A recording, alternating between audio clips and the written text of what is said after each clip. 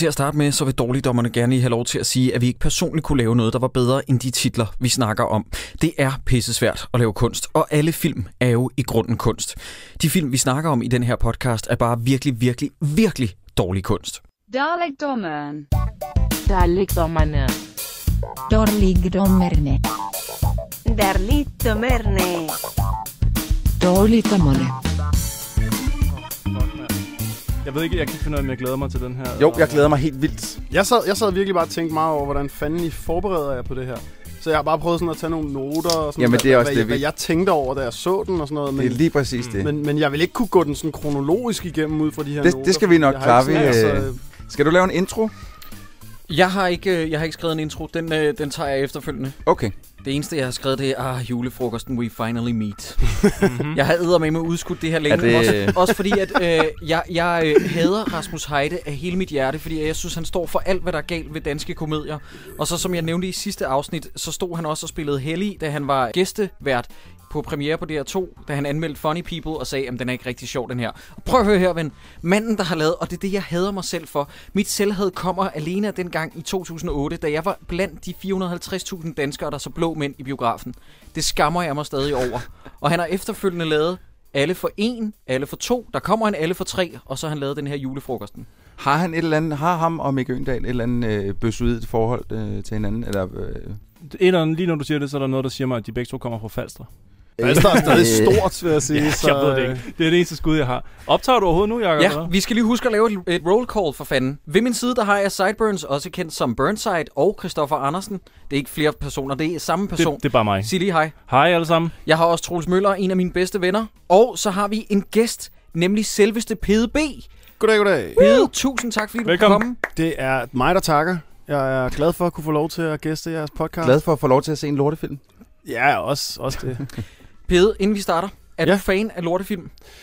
Til en vis grad.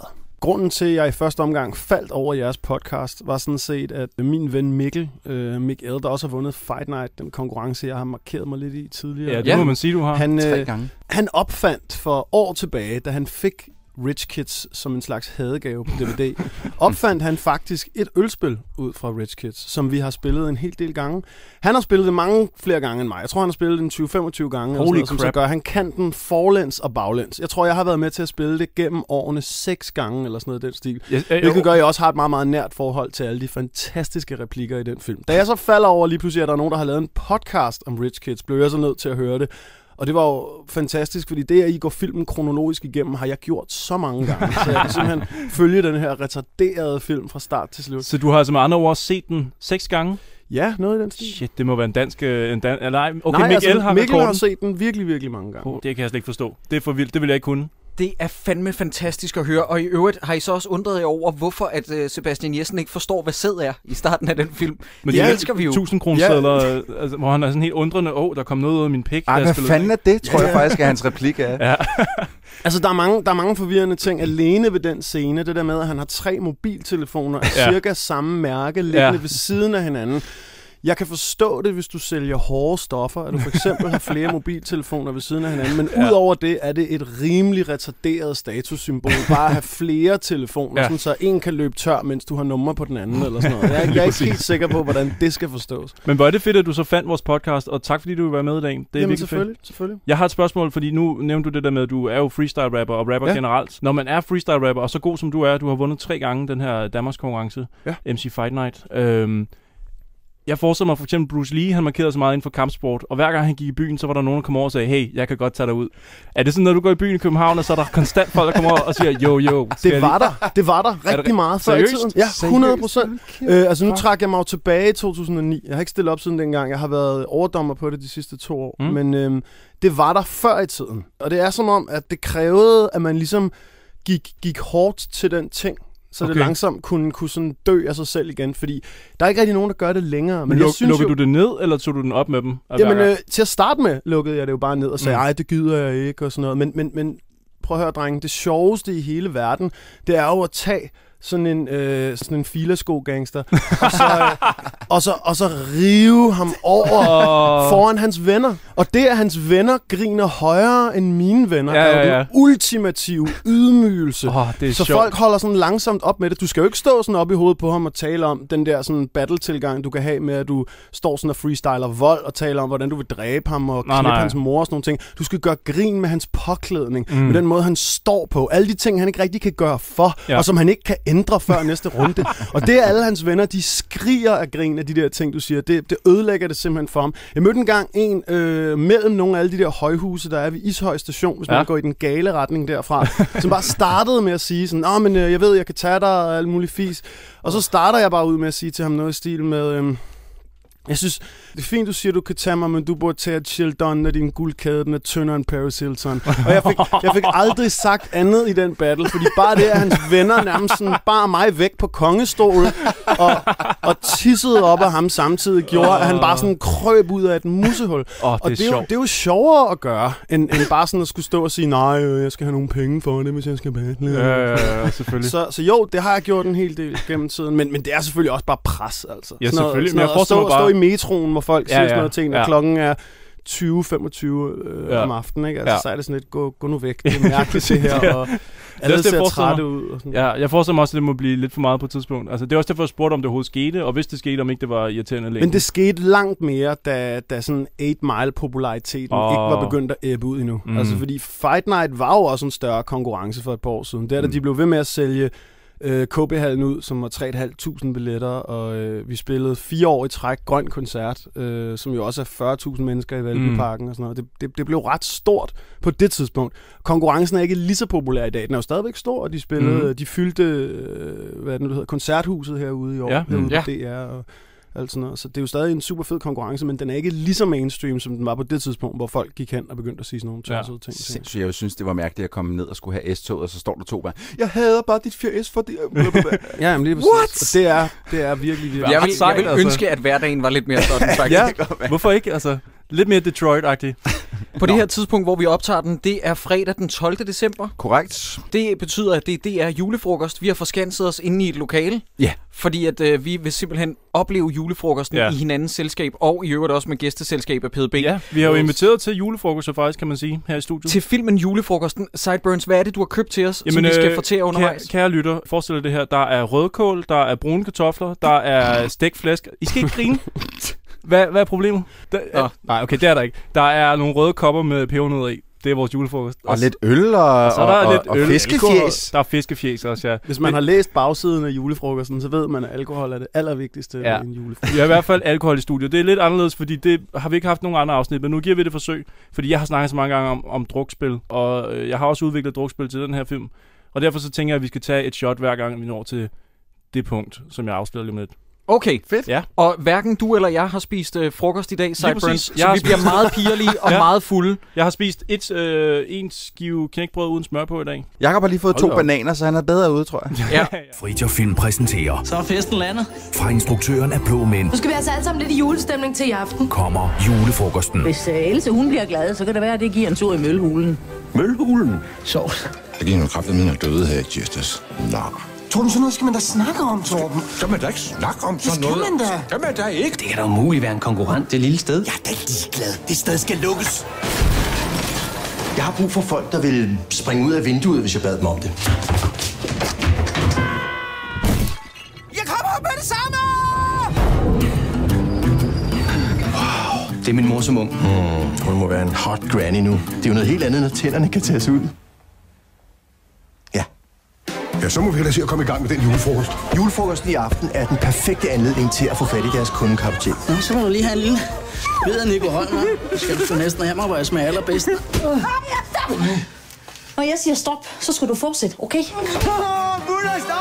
Skaff nu bare de kunder og kom ud derfra.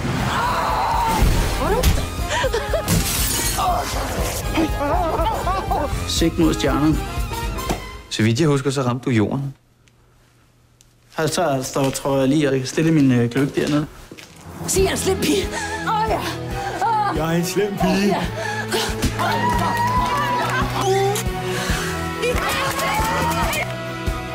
Patricks mobil, det er der. Patrick! Er det noget, du vil snakke om? Nu har du kraftet op med det der! Det må du kraftet med respektere. Julefrokosten kommer til november. Se mere på julefrokosten.dk. Stop, Buller, stop! Skal vi starte med at rise op, hvem, øh, hvilke genganger vi har i Dårligdommernes univers, der er med mm. i den her film? Ja, jeg vil godt starte med Julie Ølgaard. Yes, hun vender tilbage fra hvilke film har vi set hende i før? Hende har vi set i er Viking Saga Og... Midsommer. Ah, Midsommer, Ah, selvfølgelig. ja, ja, selvfølgelig, ja. Ah, Jesus Christ. Der er også en genganger i form af et af vores største skuespilstalenter herhjemme, Tue Lindhardt. det er rigtigt fra Slim Slum og Slum. Det er rigtigt. Jesus, mand. Mik Øgendal for din yndlingsfilm, Troels. Jensen og Jensen vender tilbage. Åh, oh, ja, det er også rigtigt. Ja, vi er blevet enige om, at vi skal stoppe med at sige det. Ja, vi, vi, vi nævner den ikke. Det er Jeg ligesom tænker- Beetlejuice for helvede. Jeg, jeg tænker på i... Øh, øh, det lyder så morfagtigt, når jeg siger det, men hiphop-miljøet. Jeg ved ikke, hvad jeg ellers skal kalde det. ja. Er Slim Slum og Slum så en klassiker? Gud, det er Nej, et godt spørgsmål, Nej, på, på ikke nogen som helst måde. Er det rigtigt? Gud skal tak jeg og har, lov. øh, Jeg, har, jeg havde ærligt talt fuldstændig glemt, at der var lavet en film over den der tegneserie. Ja, det jeg kan huske tegneserien fra sådan, altså hvor lang tid er det ikke siden? Var det ikke, er det ikke 15 år Jo. siden, den Jo, der det er tegneserie det. var fremme? Eller Det er lige før Millennium. Men, men jeg så aldrig den der film, og det eneste, jeg kan huske, der undrede mig dengang, det var, at Tommy fra Hvid Chokolade havde en rolle i den. Ja. Øh, men jeg så den aldrig, ja. og efter jeg hørte jeres podcast, har jeg heller ikke lyst til det. Nej, den er også horribel. Det tager vi som en kompliment. Tak. Nå, men skal vi tage hul på filmen? Ja, lad os da for guds skyld gøre det. Starter med en Dick Kajsø speak. Og lad mig bare lige- Krummefar. Ja, Ja. Krummefar. Lad mig bare sige, jeg elsker Dick Kajsø. Jeg fik sagt det sidste afsnit, at uh, Dejan Kukic havde uh, nok uh, Danmarks mest sexede stemme. Det er jo Dick Kajsø, der har det. Det har- er det jo. Den stemme er så dyb, og så rum, rungende, og så lækker. Så allerede fra starten, så tænkte jeg, okay, det her bliver bedre, end jeg troede. Det, det var jeg sikker på. Allerede her bliver jeg nødt til at spørge om noget. I ved en masse om film. Jeg ved ikke lige så meget om film. Er det ikke meningen, hvis der er en slags narrator på en, øh, på en film, der, der, der kører i starten, Ja, ja, at ja. han på et eller andet, tidspunkt vil blive Jo, benyttet? jo, jo. At han vil skulle enten komme med en slags outro, eller en, Jo. en, han vil skulle fortælle noget senere hen, eller 100. noget? Er det ikke sådan... Helt klart. Det er det samme, som der skete i Hot for Pjort. Den starter med en stemme, som vi aldrig hører igen. Ja. Okay. Øh, og det er bare mærkeligt. Og han siger jo ikke noget, der er vitalt for Overhovedet. Nej, nej, nej. Det, det er fuldstændig... Det, det, Han, det han nævner, mening. hvad hans forretning hedder, som vi jo ellers hører 50 gange efterfølgende. Ja. Så at, at Og hvem de hedder er. det samme som en slags smørpålæg. ja. Jamen, øh, jeg, jeg tror, en af grundene til, at øh, han er så meget upfront, det er, og nu er jeg ikke helt sikker, men jeg tror faktisk, at han, var, han er den eneste genganger fra øh, julefrok- julefrokosten 1976. ah.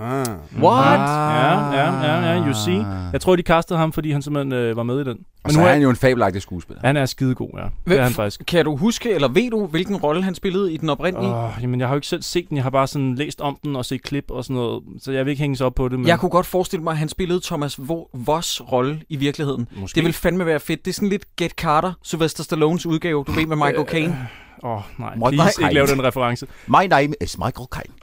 Nå, hvad sker der så? Hvad, hvad foregår der? Jamen, der, så ser vi, der er nogen, der skal til en jobsamtale. Og det er Thomas Voss. Ja. A.k.a. Anders Bo. Andreas Bo. Anders Bo? Anders Anders Bo. Bo. Han skal til jobsamtale, og øh, han parkerer et eller andet sted og går ind på det her, øh, hvad hedder det, mastodont. Mastodont, ja. Mastodont. bilforretning, som både reparerer biler og sælger biler. Am I right? Jeg kan, jeg, prøv, det er et af de problemer, jeg har med den film. Jeg kan ikke gennemskue, hvad helvede de laver. Nej. Er det et værksted? Er det en bilfabrikant? Er det en Nej, de- bilsælger? Det må være, det må være Ja. begge dele, fordi de prøver jo at udkonkurrere den anden auto, Nej, som er et nej, nej, det, det, sådan har jeg ikke forstået det. Han prøver ikke at udkonkurrere ham. Han, prøver, han vil bare have den fjernet, sådan, så han ikke kan se den i sin udsigt ud fra en stor kontor, altså Martin Brygman. Men Jo, jo, jo, men, de- men samtidig bliver der sagt i starten på den der lokalradio, de hører, at de spørger ind til, er du en af de 3%, yes. der ikke bruger mastodont indtil videre? Ja. Mhm. Og det bliver også etableret, at det er de to eneste slags af denne her forretning, hvad det så nu end være i byen Bakkedal.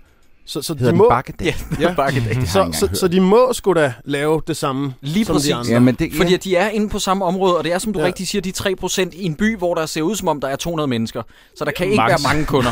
Max 200. Men nok til, Og at et de meget, åbenbart meget tjener stort penge. højhus midt i det hele. Ja, ja det, den der sidste grafik ligner simpelthen lort. Jeg ved godt, det er en komedie det her, men hvem dukker seriøst op til en jobsamtale med nissehue?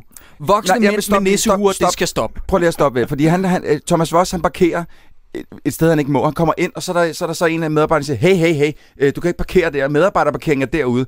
Hvor, øh, hvor efter Thomas Voss svarer med, det er okay, jeg skal til jobsamtale. Hvorfor ændrer det på noget? Hvorfor, hvorfor ændrer det på noget, hvor han, Og så må han altså, godt. at, at, at, bare fordi han skal til jobsamtale, Ja, så ja. må han godt parkere det, hvor er han så sikker på at få jobbet? Ja. Ved de andre, at han får jobbet, så han må gerne parkere. Det er en mega douchey move. Jeg blev allerede der, så var jeg træt af Thomas Voss. Og hvem er det gardneren er? Kan I huske det? Ja, det er så Bart Ove. Ja. Bort, Bort. Bort Ove. Ja. Fuck det navn. David Oves far, for ja. Det ikke skal være løgn. utroligt, at øh, altså, Bort Ove var jo en, engang en dygtig skuespiller, går ud fra. Ikke? Ja, ja. At, at, han så bliver misbrugt øh, øh, på nærmest øh, ydmyget i den her film, og har fået en fuldstændig talentløs søn. Øh, Det, det er fandme bare at blive pisset direkte i ansigtet af livet, altså. Pede, øh, nu har du afsløret for os, at altså uden for programmet her, at du rigtig godt kan lide ride. Hvordan har du det med at se Bort Ove i den her scene? For, forvirret. Forvirret? Ja. Lever han op til dine forventninger?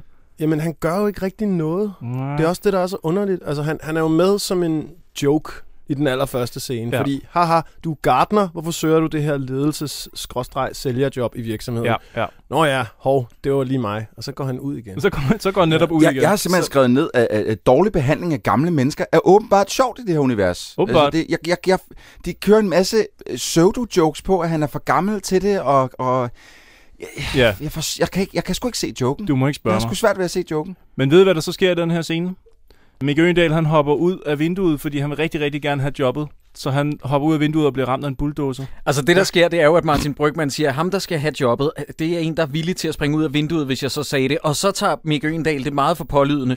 Og så tænker jeg, hey, nice deal for dum og dummere. Fordi at den måde, han falder ud på og ligger nede for foden af vinduet, det Ja. er total, hey, I'm a limo driver-joken. Ja, ja, ja. Fuldstændig. Lige præcis. Men de one-upper den ved, at han løber ud for frame og bliver kørt ned af en bulldozer. Ja. Og det er her, hvor vores lille drukspil kommer ind. Ja, ja okay. Her er reglerne. Vi tager et shot, når filmens øh, komik afhænger af, at der er en person, der slår sig eller kommer til skade. Ikke? Men skal vi så drikke første gang nu? Ja, det skal vi. Ja, det skal vi Ja, Men så øh, skål. Så glædelig jul. Skål. Skål. Glædelig Glædelig jul. Ej. Oh, that's fresh. Hold op. ja, det, med andre ord, hvis der er nogen, der øh, bliver slået i hovedet, hvad skal man sige, altså filmen ligesom afhænger af, at har det er sjovt at slå. Øh, sorry, jeg lige kommer væk fra mikrofonen, jeg er lige ved at hælde nye shots op. øhm, jeg, jeg, jeg, har ikke, Tak skal du have. jeg har ikke helt talt op, hvor mange gange det er, men det er ret mange gange. Så kan vi lige så godt konstatere, fordi der er fire mennesker, der går til den her jobsamtale, og man får åbenbart jobbet ved intet at gøre. Thomas Voss, han gør ingenting. Han, han, jeg tror, jeg kan ikke engang huske, at man siger noget. Nej. Men han får jobbet af Martin Brygman, som jo er chef for Mastodon, skal vi måske også lige have sat på plads. Han får jobbet, og hans første opgave bliver jo så at gå ned på Holgers auto, fordi Martin Brygman er åbenbart sindssygt sur på Holgers auto og vil have det fjernet. Så hans første opgave er at infiltrere og ødelægge. Ja. Øh, men, men inden vi lige øh, kommer alt for langt derhen, så har jeg simpelthen noget, som jeg blev... Først så var jeg forvirret, og så blev jeg sindssygt sur, da jeg så fandt ud af, hvad fanden det var, der foregik. Vi ser øh, Thomas Voss, a.k.a. Anders Bo, besøge sin mor, Mhm. mm-hmm. som er... Jakob, hvem er det? Gita Nørby. Fuldstændig korrekt. Yep. Og øh, hun har så lovet sin, som det er hans søn, det er hendes søn, lovet sin søn væk til en af de her sygeplejersker, der tager sig af ham. Ja. Hun kommer så ind, og så sidder jeg og tænker, fuck, er det Stine Stengade, der spiller hende her Karen? Nej, hvor er det irriterende, de har hyret øh, øh, en, som er relativt pæn, og så bare forgrimmet hende helt vildt. Så går det op for mig, to tredjedele af film, det er fucking Helena Christensen! Ja. Er det det? Hvad, Ja. fanden er joken? What? Rasmus Ja. Valders gamle bolletøj. Jeg bliver... Det er Helena Christensen, der er blevet Hvad? sminket til ukendelighed. Så- Var det hende? Det var Helena Christensen. Nej. Jeg, seriøst, jeg, jeg tog, jeg sad og drak Jo, en øl på det her ja. tidspunkt. Jeg var lige blevet færdig med den. Jeg tog den og, og kvaste min hånd og tyrede den igennem lokalet. jeg blev så sindssygt sur, at man ikke bare kunne finde en eller anden så halvslatten øh, statist til at spille ind der. Men- jeg synes, men det, det er er den så der- respektløst. Det er den der amerikanske high school chick flick øh, logik, hvor man tager en rigtig, rigtig smuk person, og så prøver febrilsk at sminke vedkommende sådan lidt nedtonet, og give vedkommende briller på, og en hestehale. Men så gør de hende pæn igen på et eller andet tidspunkt. Det jo. sker nemlig ikke. Nej. det er det, der er så underligt. Så Det er der er ikke rigtig virkelig, nogen grund til, hun er Og de der. Så joken er bare, og- at hun ikke er køn. Og Måske- plus, når Sideburns ikke engang har lagt mærke til Nej. det, så er joken jo fuldstændig uforståelig. Altså, jeg, hen jeg synes bare, hun lignede klokkeren fra Notre Dame. Jeg tænkte bare, ej, det, det var virkelig... Ej, man kunne stadig godt bolde hendes ansigt. Jeg er ked af at sige Ej, det. det er- kunne man kraftigt. Ej. Jeg og synes, det kunne man fandme hun, godt. Det er hun flot så så, så tavlig ud, det der, og jeg blev så... Jeg, altså, så jeg... Ja, åh, jeg Du blev sagde- dårlig jeg, humør? Jeg, jeg, mit hoved, det sagde bare, fuck den her film, fuck den her film. Det er fedt. Okay, så tilbage til Holgers outro. Øh, hvad hedder det? Øh, Patrick, han vil gerne købe værkstedet. Mm. Øh, hvad fanden sker der for den kuglepen, han trækker op? Dealbreaker pinden. Dealbreaker. Hvad sker der for den kuglepen? Ja. Det, Det er sjovt. Er det sjovt? Det er så sjovt.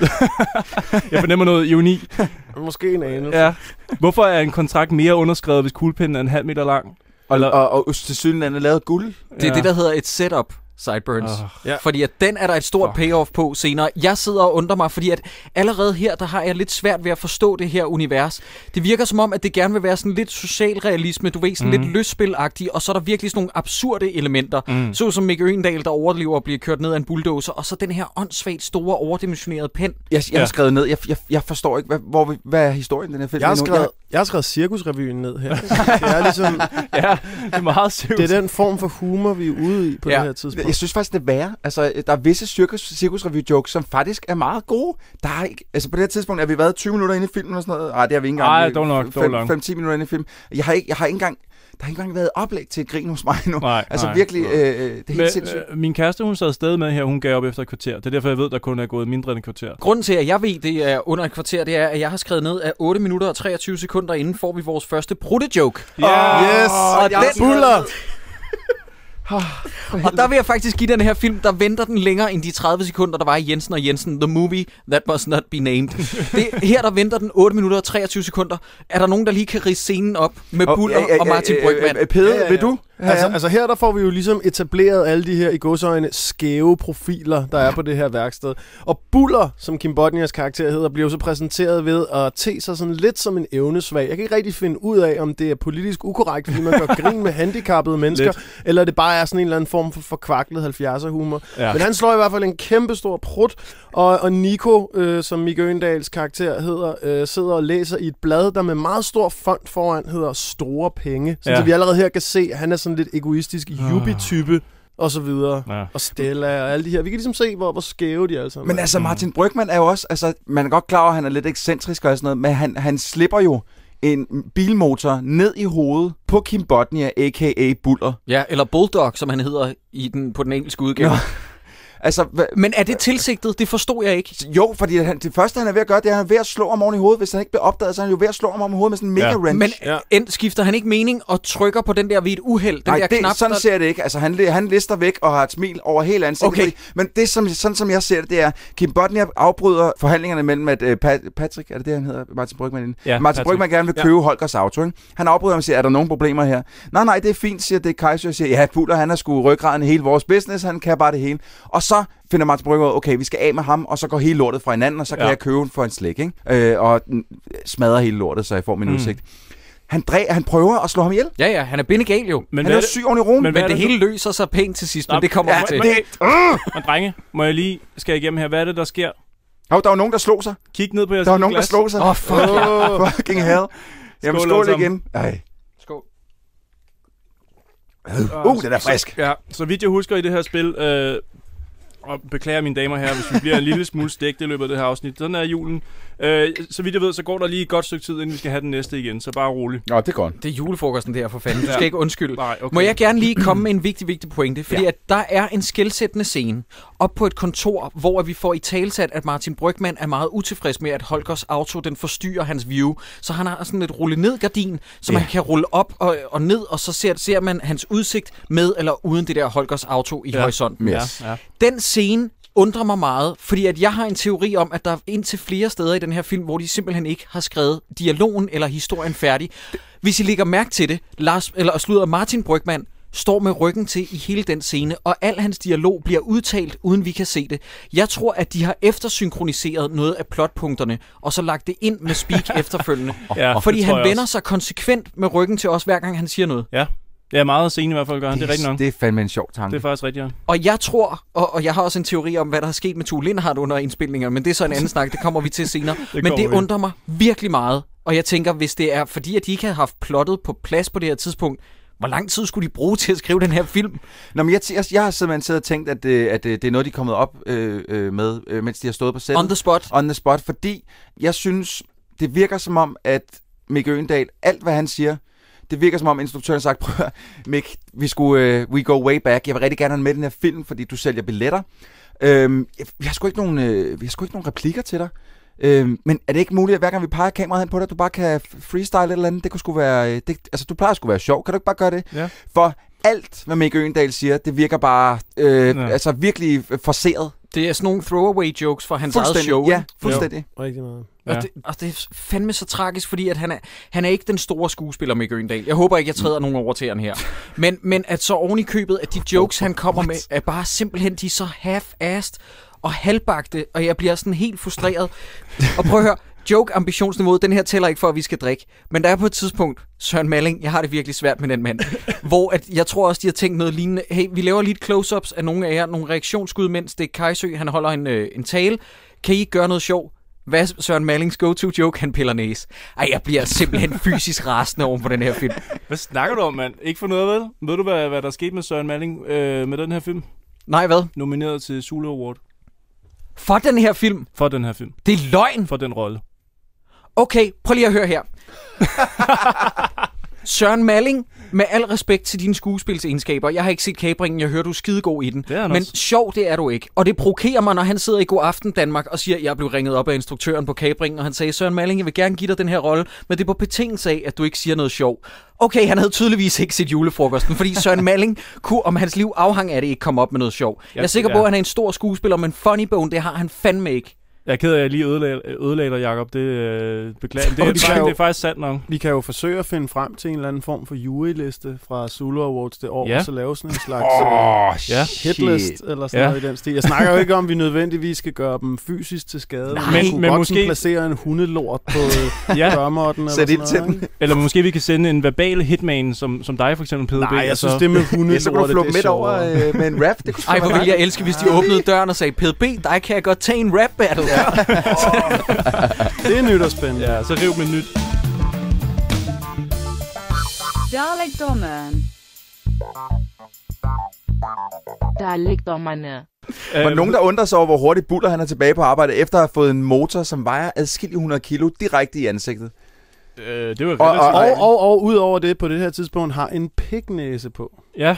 Det er rigtigt. Nej! tilbage. Jo, jo, jo, han tager sådan en øh, Sådan piknæse på. briller med en pik på næsen. Nå ja, det er rigtigt. Jo, men Ja. ja. det, det skulle jo også lige cementeres, at manden er retarderet nu. Ja. Altså, det, Han er det, hjerneskadet. Jamen, det er han. Ja. Ja. Og, men tilbage på arbejde, og det der er alle okay med i den her øh, øh, business, som Det er fint. har 3% af, af business i Ja, den her... og de arbejder så hårdt hele tiden jo konstant, så selvfølgelig kan du ikke undvære ham. Jeg er stor fan normalt af den joke, som man ofte ser i Arrested Development, hvor de whiter og så revealer, at der står en inde i lokalet, som ja. Ja. de ikke har lagt mærke til. Tur Lindhardt-joken. Tuolin har joken, som er frans i den her, hvor de 20 stjæler det. Jeg har aldrig, det er definitionen på alt, hvad der er usjovt. Ja. Jamen prøv, nej, jeg, øh, øh, jeg har bare et spørgsmål. Hvad fanden laver han i den her film? Ikke som skuespiller eller noget som helst andet. Hvad laver han i den her film? Hvad er hans, hvad er hans øh, mening med at blive, altså hvad er meningen med at tage ham med? Han laver seriøst ikke en skid. Hele hans historie igennem den her film, den er intetsigende. Den gør mm. ikke noget for den her film. Der er ingen grund til, at han er der, andet end for at have ham på plakaten og sælge billetter. Præcis. Det er sygt. Præcis. Hvordan har Det folk rigtigt. det egentlig med Anne-Grethe Bris? Der er ikke nogen, der har nævnt hende endnu. Fuck den øhm, skøge. Altså her der bliver jeg lige nødt til at sige, at hun har jo kørt et korstog mod dansk rap i overvis. Yes. Og hun simpelthen Gud, Gud, bare ja. har forklaret og forklaret om, hvor ondskabsfuldt alt, hvad vi foretager os er. Hun har jo blandt andet taget nogle billeder af sig selv i øh, sådan lidt selfie-agtigt i et spejl, hvor hun havde skrevet luder på sin egen krop, samtidig med, at hun står med et spædbarn i hånden. Hold For, kæft. for, for ligesom at illustrere hendes vrede, da hun havde hørt LOC-nummeret Undskyld Så blive afspillet i radioen. Holy Min angst blev jo selvfølgelig langt værre, da hun så på et tidspunkt blev tvunget til at sidde og kommentere en freestyle, jeg havde lavet i den øh, filmpodcast, der hedder Stream Team. Fordi jeg havde lavet noget freestyle, som de havde samlet op på, og øh, det så lå på internettet, og hun så skulle sidde og hun egentlig bare sagde noget i retning af, jamen det lyder da meget godt.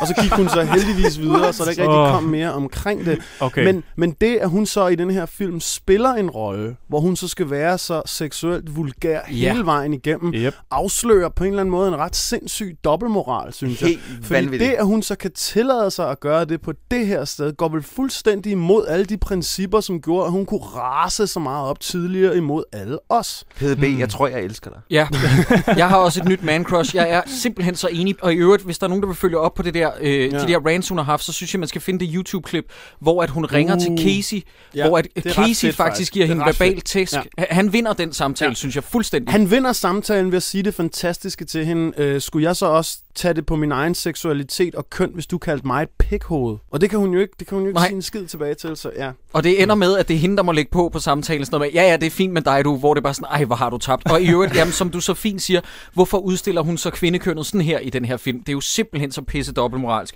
Nå, men jeg er glad for, at I andre også havde noget at sige om hende. Men jeg vil så også sige, altså faktisk, da, da- hun blev introduceret, der sad jeg så også og begyndte at tænke sådan, øh, hvad, hvad er folks arbejde her på det her værksted? Ja, jeg, forstår ikke, spørgsmål. hvem der laver hvad. Hun er sælger i hvert fald. Jamen, så meget er hun-. Det er hun, hun det, er- er hun. hun prøver det at bliver sælge nogle etableret senere. Okay, Ja. men hvad er Mick Øendals arbejde?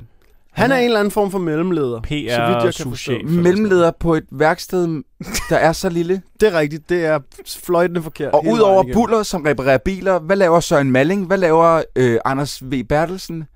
Hvad er deres arbejde? Ja. Er der nogen, der kan fortælle mig det, please? Prøv at høre her. Det her, det er et ensemble piece, hvor der er for mange mennesker. Der er for mange roller, som Ja. kan det Hvorfor samme. så ikke lave en arbejdsplads, som er større? Ja, men Troels, prøv at høre her. Så vidt jeg har forstået, så slås Søren Malling og Anders V. Bertelsen om positionen som top værksteds maskinfører, eller hvad fanden det er, nu når Buller er blevet Det, hjerneskadet. det kan jeg ikke forstå. Altså, fordi jeg, jeg forstår godt, hvad du siger, men jeg forstår det ikke rent filmmæssigt, fordi Nej. på intet tidspunkt giver Anders V. Bertelsen øh, tilkendegiver, at han gerne vil have den rolle. Det er kun Søren Malling, som ligesom øh, går all in op mod Anders Bo. som, som prøver at begå fucking selvmord i senere i filmen. Ja, det, det må vi snakke om senere. Jeg det er har helt ikke for meget fart på, og jeg tror faktisk, de svære lytter, øh, øh, de kære lyttere, de kan, de kan ikke følge med i alle de navne.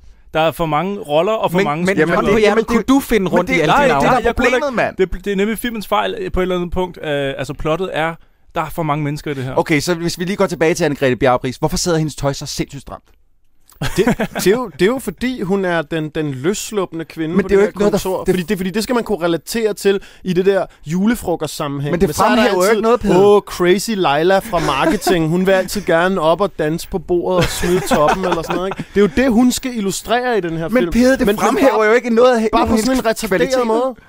Det, Nej, overhovedet ikke.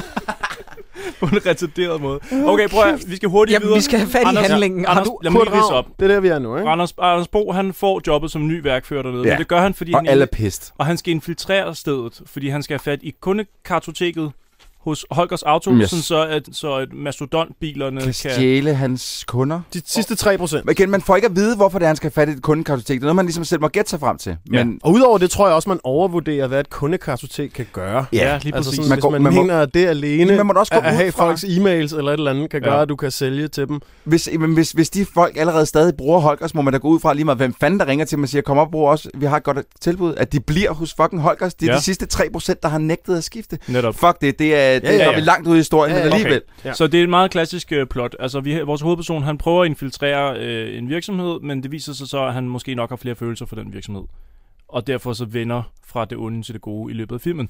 Klassisk Avatar. Nå, Ja. øh, hvad hedder Og det? allerede her, hvor at øh, Patrick ligesom fortæller, at, øh, at kundekartoteket skal skaffes og sådan noget, så begynder den her sådan ubehagelige sidehistorie, hvor at øh, han gerne vil prøve at score Anders Bos mor, uden rigtig sådan Gita Nørby.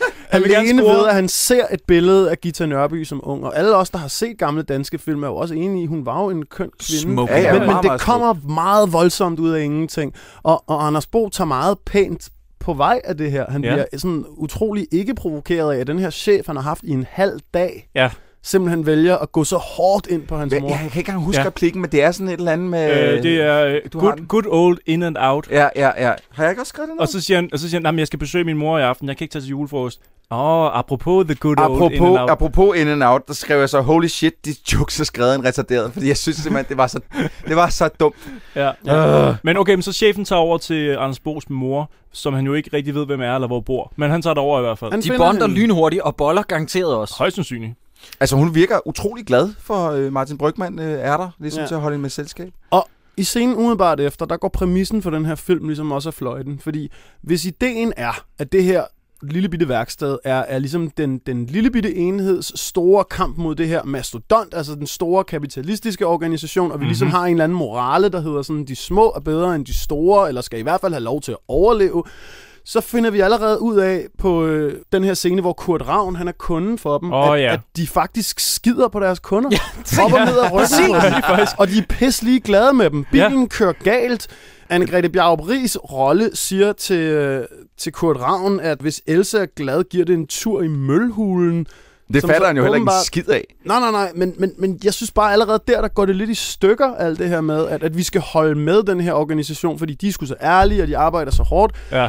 Men, men, men det bliver dræbt til fordel for, at vi kan putte nogle jokes ind om, hvor Ja. dårlige de egentlig også er Ja, til deres lige arbejde. præcis. Og der, der vælter universet på en eller anden måde under sig Rigtig selv. meget. Der er t- gået 20 minutter nu, siger jeg bare lige. Der er gået 20 minutter, og jeg har, jeg, der har ikke vist sig øh, noget, der ligner et grin på mine øh, læber. Endnu. du grinede ikke, da de sagde mølhulen i stedet for... Øh, Eller da. Kurt Ravn, han kører ind i et skilt og går ud, og så kommer der sådan nogle øh, lyde, ligesom i gammeldags tegnefilm, når der er fugle rundt om Yes. hovedet på en person. Kan man, Og øh, han siger, Else, bilen er færdig, og falder besvimet om. ja, kan, man, kan man sige øh, på en måde, at det faktisk øh, skulle være meningen, at det var sjovt, at han slog sig? Øh, Pis. Kan? Fucking hell. Ja, ja, ja. Fint, fint, fint. Skål. Skål. Okay, så har jeg den næste. Søren Malling. Vi kommer nu til en fantastisk scene. Søren Malling, han øh, griber dybt i skuespilspungen og, og, øh, og begynder at gribe os andre om hjertet. I en scene, hvor han, øh, de skal til at starte den her øh, øh, julefrokost. Han tager så en sten op og siger, prøv at høre, den her sten, den har jo ligget her øh, før det her værksted blev oprettet, og den ligger her nu, og den vil også ligge her efter værkstedet øh, er, er, er jævnet med jorden. Og øh, jeg talte til, der gik fucking to og et halvt minut med den tale. Og endnu værre, der bliver kørt det klammeste føle, føle shitty ass music som baggrundstema til det her. Til den her fuldstændig ligegyldige monolog om, øh, som kommer ud af det blå, som intet har noget på sig. Hvorfor bliver han så eksistentiel? Det har jeg slet Jamen, ikke jeg, forstået. jeg går ud fra, fordi når man så ser resten af filmen, går det, altså, Søren Manning har jo i den her sjove, i citationstegn, øh, film, en utrolig tragisk historie. Ja. Mm-hmm. Og jeg går ud fra, at han ligesom er i gang, gang med at vende livet op i hovedet der. Men det virker, på en, det her tidspunkt har man ikke fået en skid at vide om, at Nej. det her mand er et, et pladet menneske, som Nej. også virker helt fuldstændig malplaceret i forhold til resten af Men filmen. selv hvis du var plaget øh, generelt med, at Ja, du ikke fik jobbet og sådan noget. Det der med at snakke om en sten, Ja, ja, det- var her det- før os, og den er her, når vi er borte. Nå, men han, han, det er jo hele hans liv, han sætter relief. Jeg kan, ikke- altså, talens indhold er lort, men jeg forstår godt, hvor de gerne vil hen med den. Men det passer bare ikke ind i filmen. Nej, Det, det, det, er, det, er, det er, åh, der er nogen, der har siddet og sniffet coke og fået en åbenbaring lige med det der. Det, øh, Hvor er vi nået til? øh, jeg tror, vi er nået til, at øh, den, den kære Paulina Ah. bliver introduceret. Mhm. Øh, og, og jeg elsker det navn. Jeg, jeg blev lidt sur. Altså, og er så, det Pool? Nej, nej, nej, Nej, nej. Pol. P-O-L. P-O-L-I-N-A. Ja, Jeg vi får hele nogen, der- stavemåden, når han smider Ja, trøjen. det er rigtigt. Uh, Anders V. Bertelsen har jo tatoveret, øh, fået hendes navn tatoveret Ja. hen over maven. Det er sådan en Ja. ja. meget, meget, meget tydeligt falsk tatovering. når, når, når bogstaver er så afbladet, så er det en eller anden form for henna, du har kastet Yes. ud på kroppen. Helt sikkert. Men, hedder det, men bare navnet Paulina afslører jo meget tydeligt, at hun er fra Polen. Som om vi ikke skulle forstå Åh, det. det er det, den Ja. til. Jeg, jeg, var, jamen, jeg, jeg tænkte, Det fangede du Pool Lina. Jamen, jeg tænkte, Pool Lina, hun, Nå, altså, Pool. det var sådan en, en, en porn-joke på en Ja. eller anden måde. Jeg Nej. troede også, vi langsomt var ved at være over det der med, at alle piger fra Østblokken er ludere. Ja. Nej, nej, det, det var nej. som om, at Pede, nej. Det er rigtig det er sjovt. sådan en 90'er ting. Ej, det er rigtig sjovt. Men det, okay. Nej, det er slet ikke på det, nogen er virkelig, det er virkelig hårdt et eller andet Det er så sted. ondskabsfuldt. Jeg synes det er simpelthen, at hun bliver bare behandlet Ja. som et fucking Ja. objekt. Altså, det, øh, den her film sætter øh, øh, kvindebevægelsen tilbage med... Øh, 40 år. Ja, minimum. Altså, Altså, altså, det er forfærdeligt. Ikke siden Claudia Rix gik op og modtog den der årets kunne godt pris, har jeg set noget, der var så kvindenedladende. Det er Problemet er simpelthen- også bare, at det er jo ikke sjovt. Nej, Hvis det nej. blev gjort på sådan en Family Guy grovkornet måde, hvor der virkelig blev taget pis på hende, så Mhm. kunne det fungere. Men joken er bare, hun er fra Polen, ergo er hun en købekone, der Ja. er billig. Plus, Ja. at hun... Hvis det kun er det, Men Plus, det er joken. en tredjedel Det af jo filmen bare behandler altså, Anders V. Bertelsen som lort. Ja, det er også rigtigt. som, som så, det har vi ikke fået sagt, men Anders V. Bertelsen er Ja, hendes han, har, mand. han har købt hende, så at sige. Han Ja. har betalt for, at hun skulle tage til, til Danmark, og så Ja. har han giftet sig og med nu, hende. nu flytter hun med alle andre mænd til den her fest. Er vi ja. egentlig gået forbi scenen, hvor uh, det Kajsø sidder og skider for åben dør? Nej, ja, det, det er det næste, der det, kommer. Nå, okay. Okay. Øh, Mick Øgendal, han siger, det. sigter mod stjernerne, og så en meter ved siden af dem går det op for dem, at øh, det Kajsø sidder og skider. Øh, for, for åben dør, fordi han kan ikke lide at øh, han kan ikke lide små rum, øh, Ja. hvilket Nej. vi får forklaring på senere hen. Ja. Men, men man må gå ud fra, at han altså sidder og skider med åben dør i pæn lang tid. Hvorfor mm. fanden bliver han så ved med at glemme det der fucking toiletpapir? Det ved jeg ikke, og han får sådan to firkanter af papir eller Åh sådan oh, ja, noget. men altså, der er nogen, der skider rent. Altså, sådan er det jo det bare. må han virkelig Han er- satse på i hvert fald. He's got a clear colon. Eller masser af øh, øh, hvad hedder sådan nogle, øh, slanger op i numsen og få renset ud. På det her tidspunkt er vi også skøjtet henover, at en anden kollega, de har, en eller anden mekaniker, øh, yngre end de andre, der hedder Allan, Åh, oh, Gud. han bliver dobbet af Sebastian Jessen, kan Ja, man det høre gør allerede han. på det her tidspunkt, fordi man jo kan huske hans stemme fra blandt andet Rich, Rich Kids! Ja, Lige præcis. Og der er ikke nogen, er der nogen, altså fordi jeg var ikke, jeg var, jeg havde en formodning om, at der var, han var dobbet. Jeg vidste ikke af hvem.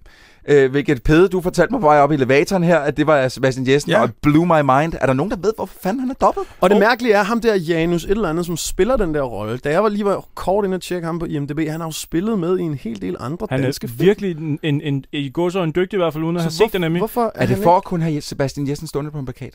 Det er, jo, det er jo om muligt mere retarderet end det. Altså, ham, vi, vi, ham drengen, vi snakker om, som er dobbet, Allan-karakteren, han, han spillede drengen i den film, der hedder Drømmen, så vidt jeg husker. Ja, jeg har ikke ja. set den, men jeg er ret sikker på, at det er den dreng, som Ja. ja. rebeldreng, som fik ret meget øh, praise, så vidt jeg husker. Men hvorfor er han så dobbet? Det ved jeg ikke, men jeg ved i hvert fald, at ham, Sebastian Jessen, han, øh, han har dobbet rigtig, rigtig mange ting. Han spiller, øh, har han, Ja, ja, spiller sindssygt. nogle af heltene i, i Turtles, og nogle af heltene i øh, Star Wars, altså på tv. Ja. Øhm, Og han spillede hovedrollen i en uh, musikvideo, jeg lavede for en del år siden, der Nå, okay. Superstar. Så jeg, jeg, jeg, ja, så, som Sejt. sagt, dejlig Så du- dreng, dejlig Så du mand. genkendte den? Ja, med det samme. Ja. Ja. Med det samme. Jeg kunne bare se, at der var noget, der var dobbelt, men, men det er bare underligt, at man vælger en stemme, der er så genkendelig ja. som Sebastian Jessen. Ja. Altså, det er virkelig, Jamen, jeg kan... Jeg kan nej, jeg, jeg, jeg, jeg, jeg, jeg, det, Men det Hvorfor? efterlader også bare et stort spørgsmålstegn. Ja. Ikke? Hvad Jamen, fanden der er der gået galt? Har de bare haft en mikroport på under hele det her, der er gået i stykker? Åh, ja, det fordi, det ikke. fordi så vil skuespilleren normalt vel bare efterdoppe lortet Ja, ja. selv. Ikke? ja, Men så vil der bare være flere scener på en eller anden måde. Men hans som, stemme er gået i overgang 14 dage efter, så det hele er Ja. gået galt. Noget af den stil. Der må Han har være ikke været så gammel, da han lavede den her film. Der, men der, kommer, der, der er en forfærdelig ADR øh, efter dub recording, øh, øh, hvor man øh, øh, hører Buller komme gående, og så råber Sebastian Jessen, Hey Buller! Og så øh, siger øh, øh, Kim Bonnier, Huh? Det sagde han også i går! Ha! Ja. Er det, er det nu en joke? Det er blevet en joke nu, ja. Okay, nu smider jeg lige med den her for dramatisk effekt. Prøv at høre her. Vi skal lige, vi skal, Meget, meget dramatisk. vi skal lige snakke om en ting. John Stewart har lavet en meget rost film nu, der er bygget på virkelige hændelser, der hedder Rosewater. Hvem spiller skurken? Det gør Kim Bodnia. Kim Bodnia er ved at blive et internationalt navn. Ja. Den her film vil altid være på hans CV, hvor ja. Han render rundt. Det samme med Tue Lindhardt. Det samme med fucking ja. Tue Lindhardt. Men jeg tror dog, at Tue Lindhardt han har opdaget, hvad det var for et projekt undervejs, og så nægtede at være med halvdelen af filmen. Det kommer vi til. Nå. Men Kim Bodnia, han havde fucking selvrespekt. Mm. Jeg har aldrig set... Prøv at høre, han blev kaldt Danmarks fucking Robert De Niro Ja, ja, oven ja. på Pusher-filmen. Ja. Han render rundt og er skilleret og siger altså retarderet lyde. Det er, Ja. hvad han siger gennem hele filmen. Bortset fra Dick Kajsø er han jo også den med den længste karriere på sættet. Ja. Altså, fordi han blev jo også bare gennemrost helt tilbage ved nattevagten, ikke? Ja, det er så, rigtigt så, det giver ikke rigtig nogen mening, at frem for mange af de andre, som måske ikke har haft en lige så, undskyld, jeg siger det, men lige så blændende skuespilkarriere, som for eksempel Mik Øgendal og sådan nogle, at de skulle sige ja til en lidt mere letbenet komedie, er der ikke rigtig nogen idé han gør det. Men på den anden side, altså jeg, jeg har tænkt mig over, hvorfor fanden er alt det, fordi der er, altså, der er en håndfuld skuespillere med, som rent faktisk godt kan spille skuespil. Anders V. Bertelsen kan også gøre det ganske Ja, glimrende. Fanden. Ja. Hvor jeg sidder og tænker, "Jamen, det her, det er, vi er i den danske filmbranche, det her, det er en fucking paycheck. Fuldstændig. Man har jo også hørt tale om, at Al Pacino dukker op i den der forfærdelige film Chili med, med Ben Affleck og Jennifer Lopez. Men, men, men stadig, det her det er en lidt mere fremtrædende rolle. Det er ikke sådan en cameo. Han er på fucking plakaten. Ja, Ja. ja. Men, Ja, men det er stadig en fucking paycheck. Du, igen, filmbranchen i Danmark er lille. Det, Din- altså, de skal tjene nogle penge. Jeg kommer til Mm. at tænke på din rant over for Nicolas Bro i uh, Jensen og Jensen, The Movie Ja, That Must ja, Not Be Named. ja. Men det er bare sådan noget, jeg ved godt, det er en paycheck, men have noget selvrespekt. Ja. Det kan umuligt komme bag på dem undervejs, at wow, skulle det være en dårlig film, det her? på den anden side, det bliver set af 450.000 mennesker. Og, og ved du hvad, de har fået penge under, øh, under optagelse, hvor, altså, hvor man godt kunne sætte tvivl om af Vikings Saga, hvor der måske ikke er så mange, der har modtaget penge. øh, øh, så ja. altså, jeg mener bare, øh, det, det er en paycheck. Altså, man, man kan ikke, jeg tror ikke, man kan tillade sig at være så øh, øh, pik, øh, Vi, at vi være bliver simpelthen nødt til at komme videre med plottet. Ja, ja, ja, sorry. vi er 20-25 minutter inde i det nu, og det, vi, vi bruger for meget tid på det her. Okay, okay, okay. Okay, øh, så vores, øh, vores hovedperson, som prøver at infiltrere stedet, han bliver spurgt lidt ud om, hvor han egentlig kommer fra. Og han siger, i hvert fald i København, for så vil han være afsløret. Så han Det siger, er den, den er så forceret, den samtale. Ja, han kommer fra Ringsted. Werners, siger han. Jamen, jeg har arbejdet hos Werners. Og så er det Mikke Øgendal, siger, Nå, men så kender du Bjarni, som kommer fra Island og har klap for øjet, og som er syg i skallen. Og, og det gør han jo selvfølgelig ikke, fordi det er jo løgn, at han skulle have arbejdet Ja, hos, ja, ja, ja. hos øh, Werners. Og den samtale... Jamen, Ja, den virker adlibbet. Altså, men der er mange jokes under den middag, der ikke rigtig giver nogen mening. Lad mm-hmm. Mhm. også mærke til det der med, at øh, Amalie, som Julie, hvad er det, hun hedder? Ølgaard. Ølgaards Ølgaard, karakter hedder, også har husket særlige retter til dem alle sammen, Yep. undtagen til Tur Lindhardt, Jamen, som ja. Frans. Jamen, alle glemmer Hvorfor ham det? Alle Ja, glemmer han ham glemt hele tiden. Ja. Jamen, det, det er det, der er joken. Er, er det joken? Ja, Ja, det er ja, joken. joken. Men det er det, jeg mener, han, ikke, altså, han, er, han har ikke nogen rolle i den her film, selvom han er med i den. Men Pede, prøv at høre her. Den joke, som de har taget det fra, det der med Frans, der bliver revealet, Mhm. mm-hmm. og alle glemmer ham og sådan noget, det er kliché. det var kliché i forvejen for den komedieserie, de har stjålet det fra, lige så vel som den samtale, Mick Øgendal har med Thomas Voss. Altså, jeg kan Hvor- ikke holde hvor er det taget ud. fra? Jamen, det er taget for tusind ting. Altså, Okay. det er taget for uendelig mange ting. Den der med Frans, for eksempel, det er en typisk uh, Arrested Development joke, for eksempel. Ah, Ah, okay. Den blev sendt her hjemme under titlen Familie på livstid. Ah. Det passer meget Jeg kan godt. godt lide Arrested. Ja, det er også en dejlig, dejlig Ja. serie. Øh, Men apropos Frans, han rejser sig op og siger, hey, prøv, jeg har fået det dårligt. Nej, det er sådan, nu, nu siger jeg det faktisk næsten bedre, end han siger det. Han siger, jeg har fået det dårligt, og jeg har tænkt mig at gå hjem. Tak for jer. Og så går han. Og så ser man ham øh, i cirka 10 sekunder i resten af filmen, sådan spredt ud visse steder. ja, det er Tur Lindrets rolle. Øh, jeg har så skrevet ned her, okay, manuskriptet virker som om det er skrevet i små brudstykker af flere forskellige manuskriptforfattere, og derefter klipset sammen til en helt film. Der er seriøst øh, en række af 10 scener, der ligger lige efter hinanden, som intet har med hinanden at gøre. Godt. Ja. Intet. Må jeg gerne lige komme med en historie her for det virkelige liv? Det, der sker, det er i 2008, der skriver jeg en julekalender sammen med en af mine venner. Vi sender den til TV2 Zulu, hvor hvem er chef på TV2 Zulu på det tidspunkt for deres comedy-afdeling? Thomas Glud. Thomas Glud har været med til at skrive den her film, og det sjove er, at vores plotpunkt det gik på, at der var en ung fyr, der infiltrerede en familieforetagende og forelskede sig i farens øh, datter, og fandt ud af... og fandt ud af undervejs, at det skulle han ikke gøre. Jeg bliver nødt til at se originaludgaven af den Holy her film, shit. fordi at da jeg sad og så den her film, og det her det er uden pisdreng, så tænkte jeg, det her er lavet et år efter, at vi sendte vores manus til Holy Thomas shit. Glud. Jeg bliver Wow. nødt til at se originalversionen og finde ud af, hvor mange lighedspunkter den har med det i forhold til vores Jeg har den manus. derhjemme, du må gerne låne den. Okay, fordi det er meget, meget vigtigt for mig. Jeg, blev, jeg fik virkelig ondt i røven, da jeg så den her film. så det er meget personligt Ja. anlæggende for mig, det her. Dårligdommerne. Dårligdommerne. Jeg vil gerne springe til den scene, hvor at Anders Bo han øh, prøver at få fat i det her kundekartotek mm. under øh, øh, julefrokosten, hvor han får væltet en hylde, som skyder nogle blyanter op mod Så ham. er der CGI. Så Ja, er der fandme CGI, mand. For alle pengene. Eller Ja. for nogle penge. Ikke specielt mange penge. Nej, men, så For ingen penge er der CGI. hvordan kan det overhovedet lade sig gøre? Jeg, kan, jeg, kan, jeg så den scene tre gange. Men Altså, det han starter jo sådan en- suspension of disbelief, eller hvad man siger. Det, det, Han starter jo sådan en domino-effekt Mhm. mm-hmm. ved at vælte en eller anden reol, som så vælter på noget andet, der vælter på noget andet. Og det virker som om, de ikke rigtig har kunne sætte det ordentligt op. Så det er kun tre ting, der vælter ned over hinanden. Ja, Ja. Som så sørger for, at et glas fyldt med blyant, der bliver affyldt. og en saks. Og en saks, ja. Som så, Med så meget fart, at blyanterne at, at sætter de sig fast. hamrer sig ind i væggen Det der skal eddermame meget til. Det skal der virkelig, ja. Og, og det er igen en af de her småbider, der ikke rigtig sådan bliver fuldt op på, Ja, eller gjort noget det- ved. det Men- Men der, der er mange ting i den her, rent fy, altså hvis man ser på fysik generelt i den her film, altså det er som om, at, der er, at, at flere forskellige steder i filmen er, har, har øh, hvad hedder sådan noget, tyngdekraften har forskellige sådan love, altså der, der Ja, bliver ja. lavet nye love for, hvordan tyngdekraften Det er, re- fungerer det er i den her ren film. Looney Tunes. Ja, altså. fuldstændig. Altså, Nå, ja, øh, hvad hedder han? Mick Øgendal kan hoppe ud af et vindue fra hvad, anden sal og lande og blive kørt ned, uden der sker noget, men, men øh, Anders Bo, a.k.a. Thomas Voss, kan ikke øh, falde ned på et bord, uden at slå hovedet så hårdt, at han går fuldstændig ud som et lys. Det er det, altså, jeg det... mener med, at der er tegnefilm. Altså, jeg forstår ja. Ikke, hvornår at noget af det er sådan lystspilskomedie, og hvornår er noget af det sådan absurd, Ja. ja. høj pistolføring-komedie. Det, Ja, det, det er sådan helt skørt. Det, Og Mm. det skifter bare sådan on the fly, uden man lige lægger mærke til det. Bang! Så, der, så sker der et eller andet, man sidder og tænker, what the fuck? Hvad, hvor er vi henne nu? Er vi, øh, hvad fanden sker der? Altså, Apropos, hvor vi er henne, vi bliver lige nødt til at snakke om, at det komiske centerpiece i den her film, det er en hjerneskadet mand, der bliver tvunget af en kvinde til at spanke hende. Yes. Altså en Yep. sexhungrende galning, eller i øh, vores øh, vokabularium, øh, hvad var det? Sex-crazed cum bitch. Holy shit. Nå, det, var det sidste afsnit? ja, det tror jeg. Ja, åh, ja, ja. Er, er jeg den eneste, der finder hele det der scenarie bare dybt forkasteligt? Nej, øh, det, Det er det, det også. nu skal jeg fortælle dig, det, jeg, jeg, øh, jeg sad og tænkte, uh, why the hell not? Uh, fordi der er så meget andet lort i den her film. Men øhm, da, da de så bliver afbrudt, er det det Kajsø, der kommer ind Ja. og afbryder dem. Og hvor at, øh, øh, lige pludselig så har Buller ikke nogen bukser på, og Ja. han har øh, fjeder på. Hvor jeg så tænkte, der er jo ikke, det er jo ikke noget seksuelt for ham.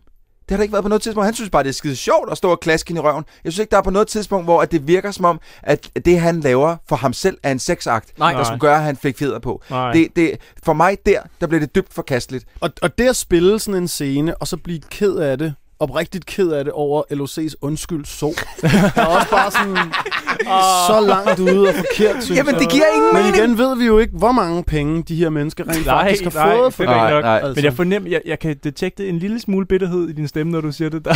Absolut. Ja, her er de. Mm, Buller. Øh, nu når, når, når Stella hjælper øh, Buller med noget, så kunne Buller måske hjælpe Stella med noget. Ja, Buller giver, giver, giver Stella lussing, ja. Øh, Stella hjælper. Buller, buller hjælper. Stella, kom. Slå her. Ja. Kom nu. Ja. Ja.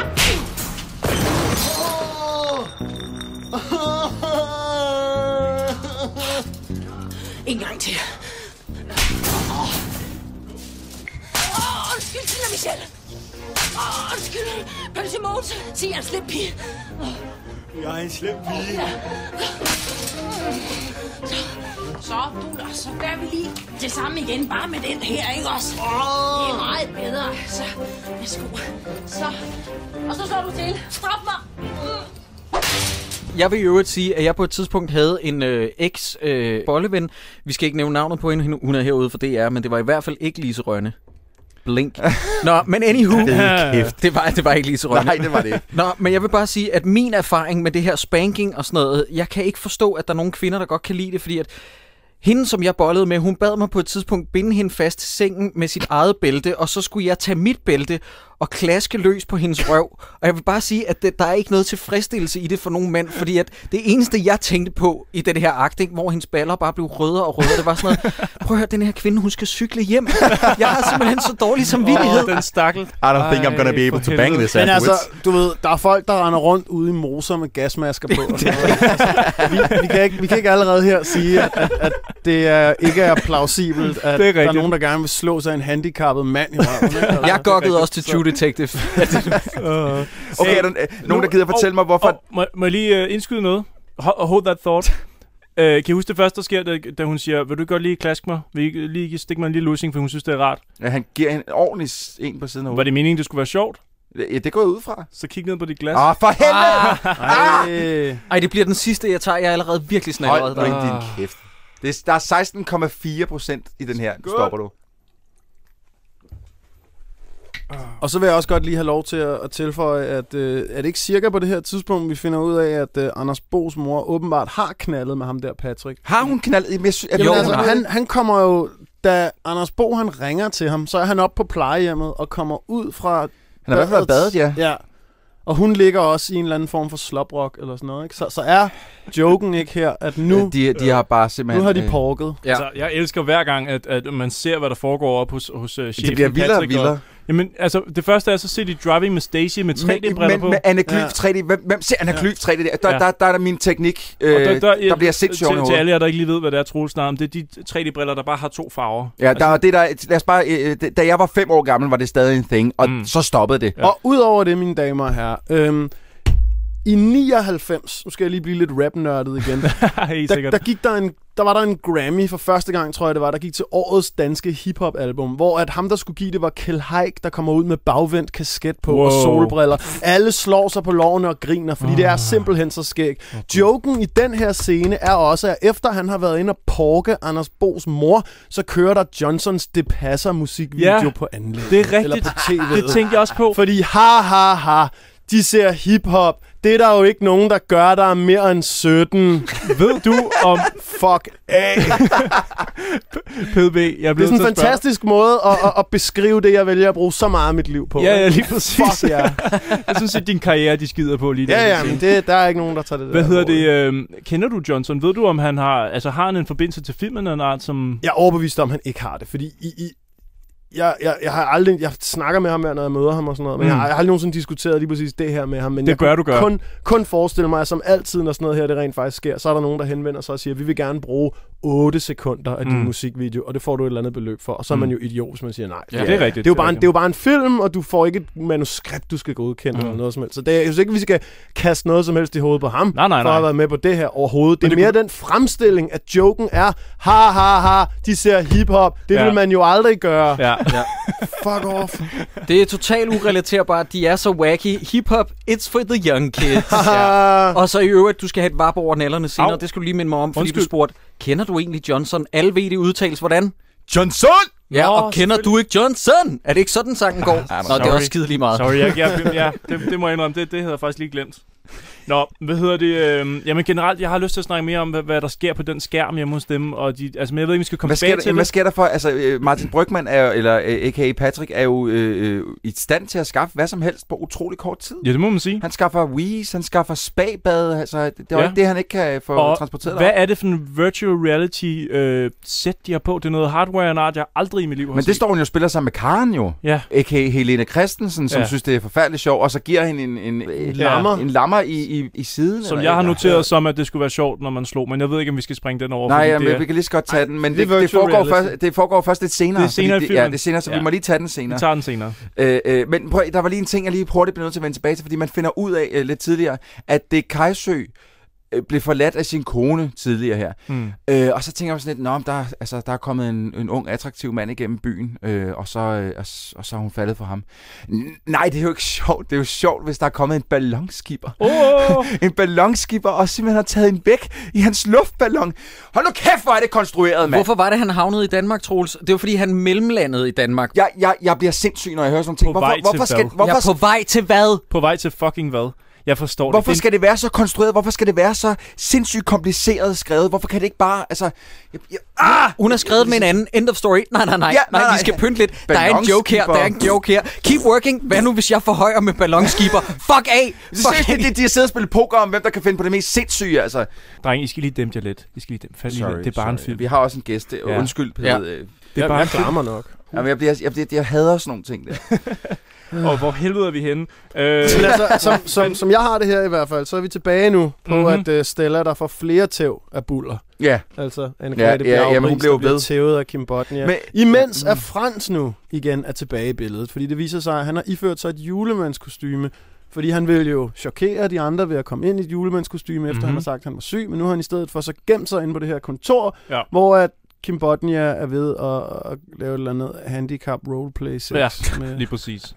hende. Når han, han er blevet låst inde i det der bur, det er Ja, Ja, lige præcis. Hvor han så må bruge albuen til at komme ud gennem et vindue og sådan noget. Og det har jeg ikke talt som, at han slår sig. Der skal vi ikke drikke. Nej, Tak, nej, nej. tak for Nej, det. Sideburns. Nej, nej, nej. Hvad hedder det? Øh, ballonskipper, øh, smæk, øh, Vi må være henne julelejene nu. Ja, vi, vi, vi er ved at være ved, at hende der, øh, Paulina... Hun laver et stripshow. Hun laver Ja. et stripshow. De drikker om kap også med noget shots, øh, hvor Jamen, man der kan få et meget- kys fra ja, Amalie. og- Okay, Thor ja. Lindhardt kravler ud af det her vindue iført sit øh, julemandskostyme. Ja, øh, han har været fanget ned i kælderen, og ingen kan høre ham. bliver nu jagtet af nogle hunde, og er nødt Ja. til at kravle op på en mur, og sidder ved ikke rigtig, hvad han skal Ja, gøre. Okay, tilbage til festen, Nej, fordi det er en nej, Troels, historie. vigtig pointe. What? Lindhardt er ikke med i resten af filmen. Hvordan ved jeg det?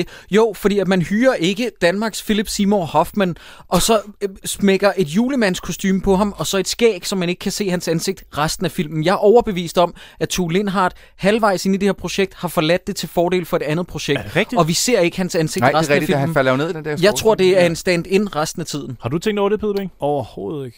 Tror du, det er rigtigt?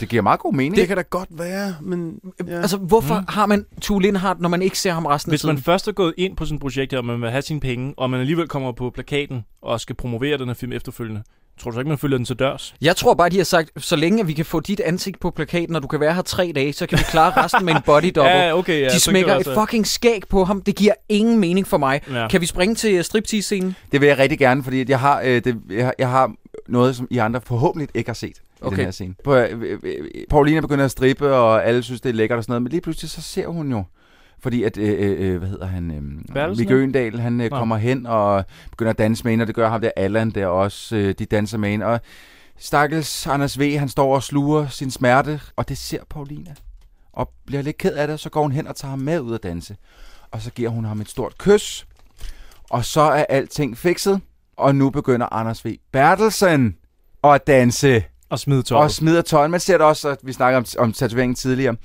Han går hen og laver nogle øh, fuck moves på en, øh, en gammel bil? Citroën. og så ved jeg ikke, om der er nogen, der lader mærke til det her, men, men på vej tilbage fra den Citroën, så danser han ligesom over til Paulina.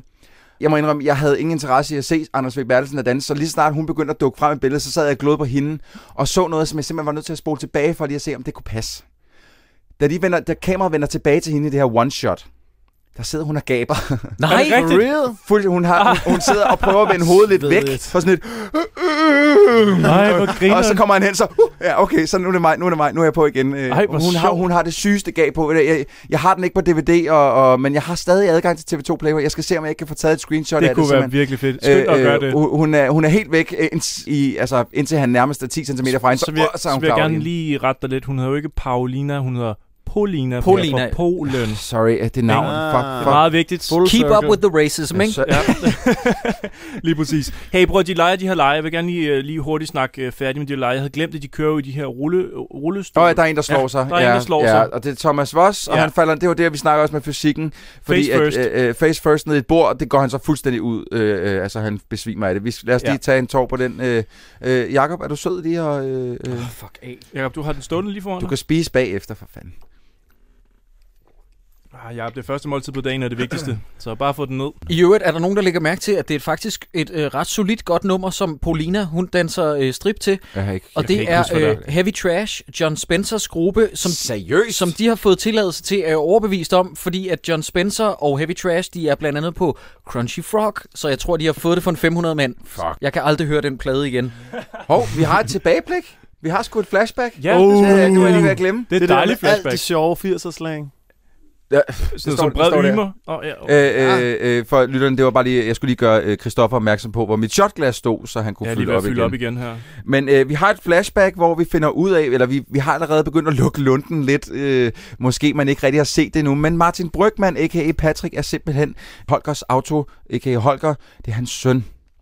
Og man ser så et flashback, hvor man finder ud af, fordi de to er jo estranged, de kan ikke rigtig snakke sammen, og det er jo ikke på grund af, af den, den joviale det Kajsø, det er på grund af, Martin Brygman er utrolig sur, fordi han har jo præsenteret de her store planer om, at han skulle overtage Holgers auto, øh, Holgers auto om at øh, han vil bygge det ud, og han vil sælge nye biler, og væk det der gamle skrammel. Der, det, der. det vil det Kajsø ikke gå med til. Hvor efter at Martin Brygman smider ham ned i bagagerummet på en bil, og han har ligget nede i det bagagerum. Øh, øh, øh, skal lige sige, den bil var parkeret direkte udenfor foran Holgers auto, Ja. og alligevel så har det Kajsø spenderet de sidste to uger øh, øh, i det her flashback i det der øh, det, det bagagerum, og Ja. har kun levet af cherry coke Og, Og snøfler. og snøfler. Og jeg vil bare lige sige, øh, snøffeldesignet, det er altså ikke fra 80'erne, fordi der var så snøffeldesignet en del anderledes ud. Jeg kunne ikke helt se det med de der cherry coke dåser, men jeg er ret sikker på, at det er heller Mm. ikke er tids øh, Det er er rigtigt. korrekt. Jeg, fik, jeg fandt tre rigtig gode termer, som de sådan lidt kunstigt har puttet Bred ind i ymer. samtalen. For. Ja, bred ymer, kodylt og styr dit handicap. Ja, Men, det er og, men det er jo også det er jo, det er jo Martin Brygman, der står for dem alle sammen. Men, men er bred, som er bred, nej, nej, fordi det er Kajsø, han prøver også at sige bred gammel, nej, han siger gammel, Og han han siger gammel yoghurt. gammel Ja. ja. yoghurt, ja. Fordi han er jo faren, der Ja, ikke har forstået han kan jo ikke forstå noget. Det er fandme sjovt, det er. Kæft for Og det. bred ymer ved vi jo alle sammen er tilsvarende gammel yoghurt. Det giver ingen mening, Nej. den joke. Jeg kunne ikke lade være med at begynde at tænke over de her familieforhold, når vi nu endelig har fået forklaret, at Martin Brygman er søn af det Kajsø, og Jule Ølgaard er også datter af, hvad hedder det? Øh, det er Kajsø. Ja. Det Kajsø, ja. Så jeg gik ind og tjekkede, hvornår de var født, og jeg kunne se, der var 16 års øh, forskel mellem det Kajsø og Martin Brygman. Det vil sige, at det Kajsø har fået ham som 16-årig. Det kan lige akkurat... Det kan lade sig gøre, men jeg Men- synes, men- det virkede Men i underligt. det her flashback, der får vi også etableret, at moren er død. Og så kan jeg se, at fra Martin Brygman, den første søn, og ned til øh, Jule Ølgaard, der er 18 år imellem dem. Så altså, det er en meget, meget... Han har Det er fået, også set før. Jamen, det er også set før. Men moren... Jamen, ja, der Det var er et så ikke samme hjernen. mor måske. Jo, for de, de Nå, det snakker er- hele tiden om, at nå, da mor hun ligesom forsvandt med den her ballonskiber, så det er den samme mor, Ja. som er forsvundet. Så der er noget helt Der er tidsmæssigt, andet, der jeg, ikke der, hænger sammen. jeg, kan, det kan måske lige akkurat gå op, men det er fandme på et hængende hår, biologisk set, at det kan hænge sammen. Altså, jeg, jeg, jeg, der døjer stadig med den teori, men det, det kan være, den kommer op på Facebook eller et eller andet. Er, er vi ved at nå klimaks? Skal vi snakke om Søren Mallings selvmordsforsøg, som bare er dybt deprimerende? Ja, lad mig lige Øh, skimme i gang. Øh, der er jo alt det der med, med hvad hedder det, øh, pengeskabet og sådan noget, det tror jeg faktisk, ja. vi Ja. springer over. Og, øh, og Stella, der kommer til at, til at nikke Anders Boens skalle, fordi hun prøver at give ham et blowjob. Ja, Det er sjovt. en skalle, og så bagefter øh, er det Jule Ølgaard, der så- får så givet sådan et en- slag en op. sådan back- det, det, har jeg talt som, det har jeg talt som en scene, hvor det skulle være sjovt, at nogen blev slået. Ja. Okay. Er, det, er det nu? Okay. Jamen, eftersom vi ikke vender den, så behøver vi ikke rigtig, vel? Åh, oh, jo, jo, det gør vi. Nå, men skål, skål, drenge, for fanden. Åh, skål. Ned med den, prøv, man, Jacob. man stopper bare for det her spil, når man ikke gider med, Jacob. Der er ingen uh, gruppepres. Tag den nu for Jeg helvede. springer lige den her over. Jeg skal også styre teknikken, drenge, og sådan noget. Skru Ja, ned for mig, for eksempel. Skru Åh, op igen, op og... igen, og- Vi ved alt sådan noget, alt sådan noget vigtigt Okay, noget. Jakob er tydeligvis stiv. Han skruer op og ned midt i det hele. Men altså, øh, øh, øh, Undskyld. Øj, den krasser. Øh, Søren Malling, han, øh, han har været deprimeret de sidste 20 minutter i den her film. Han har simpelthen været ude og finde et, øh, et støvsugerrør, tror jeg. Og sat det på, øh, på, et, på, på en bil og proppet det ind i bagagerummet, og så har han sat sig ind og tændt den. Mm. Hvorefter Julie Ølgaard og Thomas Voss opdager det, skynder sig over og sætter sig ind i bilen med ham, hvorefter han, han begynder at køre. Hvorfor det så skulle hjælpe? Det er jo ikke som om, man flygter fra dem. De sidder jo allerede inde i bilen. Jeg kan ikke helt forstå den der. Og Især også fordi de ved, at han har tænkt sig at begå selvmord på grund af den her slange. Ja, skulle man- Og så, så, så sætter de sig ind i bilen uden at rulle vinduerne ned. Ja. Hvorfor? Hvorfor Jamen, kører de, nej, en lang ikke, De har jo ikke opdaget det der. De kan ikke, de kan, de kan ikke lugte, der stinker. Hold nu der kæft. Thomas Voss, han bemærker det slet ikke. Nej, Thomas, der var, st- nej, det eneste tidspunkt, det bliver øh, øh, i talesat, det er efter den scene er slut, hvor han, øh, Søren Malling kommer ind og krammer Anders V. Bertelsen og siger, Gud, hvor du, lugter, hvor du dog lugter af benzin. Ja. Ja. Hold da kæft noget lort, mand. Ja. Hvor- Hvorfor, hvis han kan lugte benzinen der, hvorfor kan han så ikke lugte noget i bilen? Jamen, det giver ikke nogen mening. Jeg, jeg har engang været sådan en, en hjælper på et værksted, dengang jeg var helt ung teenager, mm-hmm. fordi Mhm. det gav gode penge, da man gik i skole. Mm. Og det var meget nemt. Øh, og der sagde de... Forestil mig, dig kunne finde ud af noget med biler. Nej, Det kan nej, jeg nej, nej, nej. heller ikke, nej, det er en længere historie. Der fik jeg at vide, at der var nogle helt strikse regler om, at, at man skulle gøre sådan og sådan, fordi hvis bare 1% af luften blev det fra udstødningsrøret, så var man allerede død, og man nåede ikke at opleve det selv. Og det er den her scene, den er alt, alt, alt for lang i forhold Og jeg, til... jeg tror måske også, de måske har overdrevet en smule. Det tager et lille Men stykke tid. det er før kun du- ham på bagsædet, der bliver tipsy Ja, det, det. synes jeg også var sindssygt mærkeligt. Det er kun Thomas Voss, der ligesom begynder at blive søvnig. De to andre, de er bare de er all Ja, fine ja, det. Siger han ikke bare, jeg tror, jeg bliver køresyg? Er det ikke bare det, der er ja, hans jeg, replik? jeg, bliver, eller, ja, don't- jeg begynder, jeg, jeg begynder ikke at give a shit. Mm. Jeg kan mærke det. Den her film, den begynder at gå mig på nævnene nu. Men jeg har også Udover lidt det har jeg nu. engang læst om, at folk, der ryger meget has, øh, kan klare mere kulilte i blodet. Fordi Er det de har rigtigt? sådan hærdet lungerne, så det kan jo Så- godt så være. Julie Torben Ølgaard og Søren Malling. en, der kunne suge en ordentlig spand Ja. imellem. Ikke? Så det, det kan kunne godt godt, være. være. Det måske på en eller anden måde. har Det er faktisk... Hey, bror, det er en god fan-teori, den der. Øhm, men, men kan I så huske, hvad det er, de to andre siger til Torben, der får ham til at droppe selvmord? Det er noget med, der er, synes jeg er ret at Holger fantastisk. er taget Ja. med til en eller anden fodboldkamp. Han er taget med uge. til en fodboldkamp, og så ved han, hvor meget næstkaffe han skal have om fredagen. Ja, det er rigtigt. Så, skal, så, så har du ikke ment det vildt seriøst, da du gik i gang med at blæse knuppen af dig selv. Det er rigtigt, ja. Men, der, men jeg vil så sige, der, Der er en, der, der kan der, huske, hvor stærk kaffe du vil have. der, er en, der er en instans til, mere i den her film, hvor der er nogen, der siger noget virkelig latterligt til et andet menneske. Vi kommer til den, og så er alt lige pludselig bare løst. Ja, men sådan er det i den her film. Det, alt kan løses med nogle få ord ja. I det her univers. Hvad er det, han lugter af?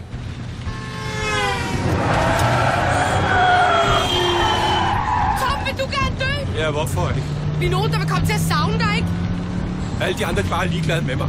Nej. Fimse, Fimse, han tænker rigtig meget på, hvordan du har det. Jeg får det helt vildt dårligt. Og mest af alt Holger. Her han ved, du skal have fem skefulde næstkaffe i din kop om fredagen. Han tager med til alle kampene med frem, selvom han hader fodbold. Han er rigtig, rigtig stolt af dig, Torben. Er det rigtigt? Ja. Jeg kan også rigtig godt lide Holger. Præcis. Så lad os komme hjem, ikke? Ja.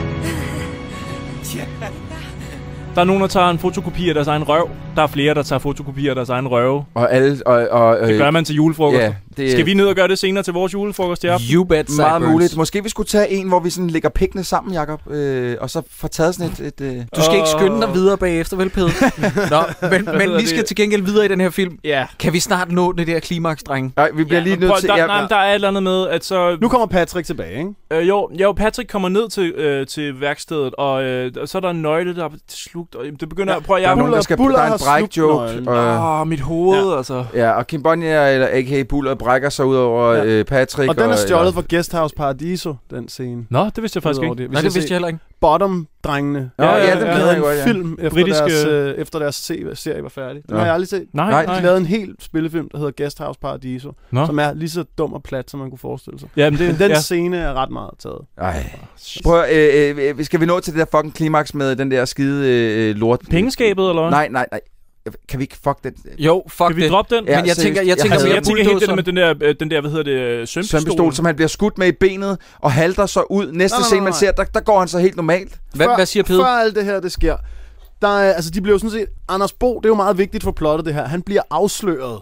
Ja. Fordi han brager ud, Ja, de kommer okay. til at smadre en væg, og så kommer de simpelthen ud i det her lokale, hvor festen foregår. Det vil sige Patrick, Anders Bo og det ved jeg ikke, en, eller anden, en eller anden tredje, så vidt jeg husker. Nå ja, Mik, Mik, Mik. Øgendal, som på det her tidspunkt også er røget over på Mastodons side. Yes. Mm. De kommer bravende gennem det her.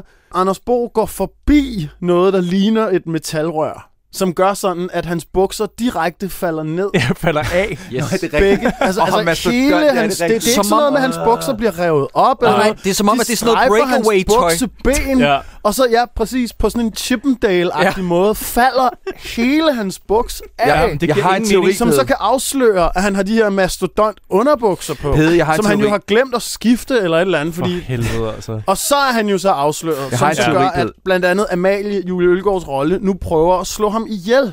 som man jo ville gøre i sådan en sammenhæng. Jeg hader Han Fordi hun har gerne- lovet, at de skulle på en tur sammen til Italien, hvilket man også inviterer folk på, man har kendt i syv I timer. syv timer her. Hvad fuck foregår der på det? Pede, han vil jo gerne knalde Julie Ølgaard, så han har Ja, ja. selvfølgelig taget, Det nogle bukser også, på, han bare kan flå af. Nå. Nej, Selvfølgelig. nu stopper du. Men har Er han det ikke... mig, der er sindssyg nu? Ja, Ja. du er stingerne. Du er benegal, fordi er det ikke tøj, han har lånt, at det er Kajsø, han har på på det her ja. tidspunkt? Jo, det kan Kajsa vil også gerne knalde Julie han Ølgaard. ned over det. Han vil gerne have noget father-daughter action. Men hvorfor har... Kan I forklare mig, Troels, dit svin. hvorfor har han øh, det Kajsøs tøj på? Altså, han, han væltede ind over det her bord, og jeg forstår, at han har fået øh, rød grød med fløde, eller øh, risalamang på sig. Men da man ser ham ligge på sofaen bagefter og snakke med Julie Ølgaard, der er ingen pletter på hans tøj. Der er ikke nogen grund til, at han skifter tøj over Prøv, til prøv at høre, det det er vigtigt for tøj. historien. Det er det, instruktøren det er ikke vigtigt for historien. Men pletterne er tilbage senere. Ja, ja, Yes, ja. når han får det til på, Ja, ja. på tilbage igen. Til på. Det skal Til på. Jeg er pissefuld.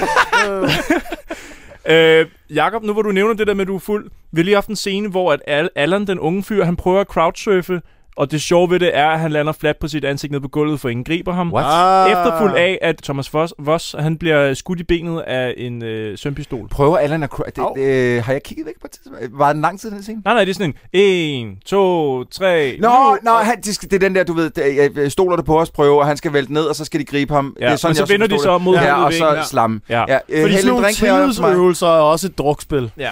Jeg ved ikke, altså jeg har faktisk noteret det som, som to... Har du aldrig lavet det, Pede? Det er det, vi gør hele tiden herude, mand. Når man er allermest fuld, skal man gøre sådan noget, der er rigtig, rigtig slemt for ryggraden. Jeg har faktisk øh, noteret det som, som to øh, tårer, at man Ej, først drikker, når den ene han lander på gulvet, og den anden... De, når, de foregår inden for en relativt kort øh, Yes. periode. Vi tager det som en enkelt. Vi skal, Jakob, han skulle gerne øh, overleve ja. Ja. det her podcast. Vi har jo også en julefrokost på DR, Ej. som vi skal til bagefter. Ej, prøv lige at se over på... Troels, Troels, prøv lige at kigge over. Men han ser ud som om, det gør... Pede, prøv lige at kigge over på Prøv, Jakob. prøv at se Jakob. Han, han, han, han ser ud som om, han har Ej, dreng, jeg er virkelig træt. Vi skal direkte videre til Du julefrokost. skal have noget vand og noget kaffe bagefter. Ja. Ellers overlever må vi, slet til, ikke hele den der må vi tilbyde noget af dit vand Ja, over? selvfølgelig. selvfølgelig. Prøv at høre, vi skal Altså- også til det der klimaks, ikke? Ja, Skulle prøv at vi høre. Undskyld, hvad siger du, Peter? Og vi skulle lige have det der. Skål. Vi skulle lige have ja. drinken, ja. Vi skulle lige have drinken. Skål for helvede. Kaosafsnit. Jeg synes også, vi igen her, noget af det, jeg bragte på banen for en time siden, eller sådan noget, mm. som er, at det her plot og ideen og historien overhovedet ikke holder i den her åndssvage film, er også, at Anders Bo bliver smidt ud af den her fest. Ja, og, han, og halter ikke længere. Han, han, han går nu derud fra i det der tøj, der igen er pletter på. Han går forbi Kurt Ravn, der åbenbart er vendt tilbage. Johannes, ham der tidligere fik smadret sin bil, fik ødelagt den, fik at vide af Anne-Grethe Bjarup Ries, at han skulle hjem og have noget i mølhulen, eller sådan noget. Ja, mølhulen. øhm, Det er et nyt hvor, ord her. hvor Anders Bo så siger til ham, hvis du vil handle med ærlige mennesker, er det her, det sker. Det er rigtigt. Før det her bliver etableret, har vi allerede fundet ud af, at Kurt Ravn er blevet snydt en gang af de her mennesker. Og Anne-Grethe Bjarup Ries har stået og diskuteret med Krummefar tidligere, at hun har solgt alle mulige biler til folk, der virkelig ikke havde brug for dem. Netop, det er derfor, hun vil smækkes. Præcis! Og en sygeplejerske, som har fået en eller anden 16 meter lang limousine og sådan Ja, nogle ja. åndssvage ting. Så de egentlig bare har røvrendt de her stakkels mennesker. Men ja. alligevel står Anders Bo nu og siger, at det, det, er her, det er her, de ærlige er. Det er den Ja. lille, Det- det, det er David Goliath tematik, vi har fyret ind fra siden ingen her. fucking mening. Det er sjovt, fordi Ingen den, mening. jeg, det, jeg vil sige, den, øh, jeg, jeg, jeg havde slet ikke fanget den der med, at hun er hun bare røvrender alt det der. Det gør der hun var så jo. mange andre ting, som jeg, som jeg simpelthen ikke kunne slippe, Men så det det, gør er, hun. det er gået fuldstændig overhovedet. Men hvor er det dog sindssygt. Hvor er det dog sindssygt Det at, at bygge det der op i en film, og så bare altså, sige, okay, fuck it, der er ikke nogen historie her. Og det kan godt være, at der så bare er en eller anden overordnet idé om, Nå, men i det her univers, der er alle bare nogle narrøv. Mm. Fordi, fordi det er de jo nærmest alle Ja, men- sammen. Altså man- selv, selv Julie Ølgaard, som på en eller anden måde virker som den lidt uskyldige pige, hun prøver at dræbe Anders Bo på Men der er jo alle røvhuller i den her film. Der er jo ikke nogen... Jo, det er Kajsø måske, fordi han er så jovial som han, men det er Kajsø, jeg helst. Jeg vil bare lige sige igen til lytterne derude, jeg elsker det er Kajsø, intet under ham. Men alle andre er bare nogle fucking dickholes. Ja. Alle. Ja. Men, men skal vi nå til det fucking klimaks, Jakob? Øh, jeg kan se på dig, du er, du, er- du er Jakob er seriøst ved at... at helt øh, af, jo. Kan og du, det er kan på du, trods af, at vi faktisk har sprunget en over, kan jeg se her. Øh, Ja, men så- det? Kim, Kim Bodnia slår Julie Yngård i hovedet med en, en jernstang. Ja, Ah, lad os bare springe den over. Men skal vi, skal vi holde os, skal vi holde os, fordi vi skal drikke alligevel lige om lidt. Skal vi holde os til, til klimakset? Vi har noget, du må gerne, jeg vil gerne have, at du fortæller det, fordi du, jeg tror, du er i det rette humør til det nu. Og så kan jeg flippe ud senere. And the movie ends. Nå, Jo. dreng, jeg, Nej, det, der sker, det der sker, det er, at Patrick, A.k.a. Martin, Martin Brygmann, Brygmann, ja. han vælger at simpelthen den yderste konsekvens øh, af selvtægt. Han sætter sig ind i en bulldozer og vil jævne Holgers auto med jorden. Ja. Mm-hmm. Det, der sker, det er, at det opdager Anders Bo. Han hopper ind i bulldozeren, samtidig med, at de vist nok kører måske, måske ikke Tue Lindhardt ned. Ja. Nej, nej, nej. Kim Bodnia Nej, Kim bliver, Bodnia. bliver kørt over. Ja. Men er Tue Lindhardt også med inde i Nej, han ligger, han, lige nu ligger han Tore op i en, i en, i en skorsten. Så Lindhardt kaster sig ud fra taget og Det er sådan, prøver det er. at holde den tilbage Nå, ja, det er med sådan, sine er. egne Ja. kræfter. Men Ja, inden ja. da har den kørt uh, buller ned. Ja, som ikke er død af at blive kørt ned Så af en det, det kommer vi til. Pede. Ja. Du må ikke gå for hurtigt. det er det meget vigtigt. Gearstangen knækker Ja. ja. inde i bulldozeren. Ja. Hvad hiver Patrick op af inderlommen? Den store kuglepind. Dealbreaker-pinden! Den store guld, øh, kuglepind, den der, jeg sagde tidligere, den er halv meter lang. Det er den ikke. Den er 30 cm. 30. Ja. ja. Det, er en, det er en stor øh, javertus, lad os sige det sådan, som ender med at redde hele dagen. Ja, Det må er jeg, der må jeg faktisk sige, at det er setup og payoff, som jeg ikke havde regnet ud på forhånd. Nej. Nej. Jeg må indrømme, at der var et punkt her, hvor jeg grinede. Hvad var det? What? What? Der, var, der skete What? noget her i den her slutning, hvor jeg grinede. Hvilket? Ligesom da vi så Jensen og Jensen-filmen, vi ikke snakker om. Kaffe latte? Netop, da den kom ind, kaffe latte, så var jeg bare solgt og grinede. Og her, da Martin Brygman kommer over bakken i den her bulldozer, der siger han, Juhu, det er Patrick, jeg har tænkt mig at rive det ned, eller sådan noget i den stil. Og jeg var bare, der, der, der må jeg indrømme, der grinede. jeg. Det gjorde I ikke. What? Nej. Men det er din genfortælling af joken, der forstærker min tro på, at den nok var rigtig sjov. Super fedt, Sideburns. Godt genfortalt. Du kan ikke engang huske, hvad det var. Jeg har det på et stykke papir. Uh, lad mig lige rode for effekt. Jeg roder lige med noget papir.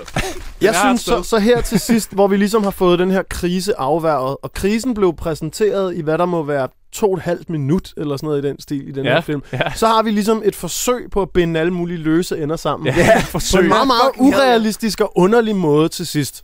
Altså, for det første, så, øh, så bliver Patrick og Holger gode venner igen nu, mm. Mm-hmm. fordi de er far og søn. Ja.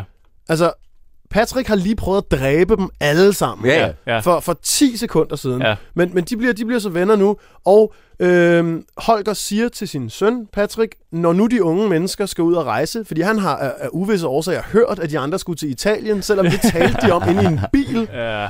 Når de skal til Italien, så kommer Patrick jo bare og arbejder på værkstedet i stedet for. Selvom han har en virksomhed, der hedder Mastodon. Gør han det? Det fangede og, jeg ikke. ja, ja, ja, Ja, ja. Så siger de, så kommer du bare Så her og arbejder, når de unge mennesker tager til Italien. Nej. Men han er jo ikke interesseret i det. Det var det, der skete i første omgang. Han Arbejder var, et fucking andet sted, jo. ja, og han var, jo- han, han var interesseret i at have det her multi, den her multinationale virksomhed, som solgte biler og var smartere. Han var ikke interesseret i at have fucking Holgers auto. Det giver ingen mening. Det er for sindssygt. Men altså, øh, øh, jeg kan lige så godt sige, at jeg grinede ikke en eneste gang gennem hele den her film. Er det det rigtigt? Det, jeg det, det, det, her, det, her, det her er skrevet ned her. Fuck, jeg hader Men- at tabe den her konkurrence. Men, Altså. jamen, jeg, jeg har ikke grinet en eneste gang. Til gengæld, så vil jeg sige, fordi der sluttede filmen, så kom der, så kom der rulletekster, og så kom der en gag reel.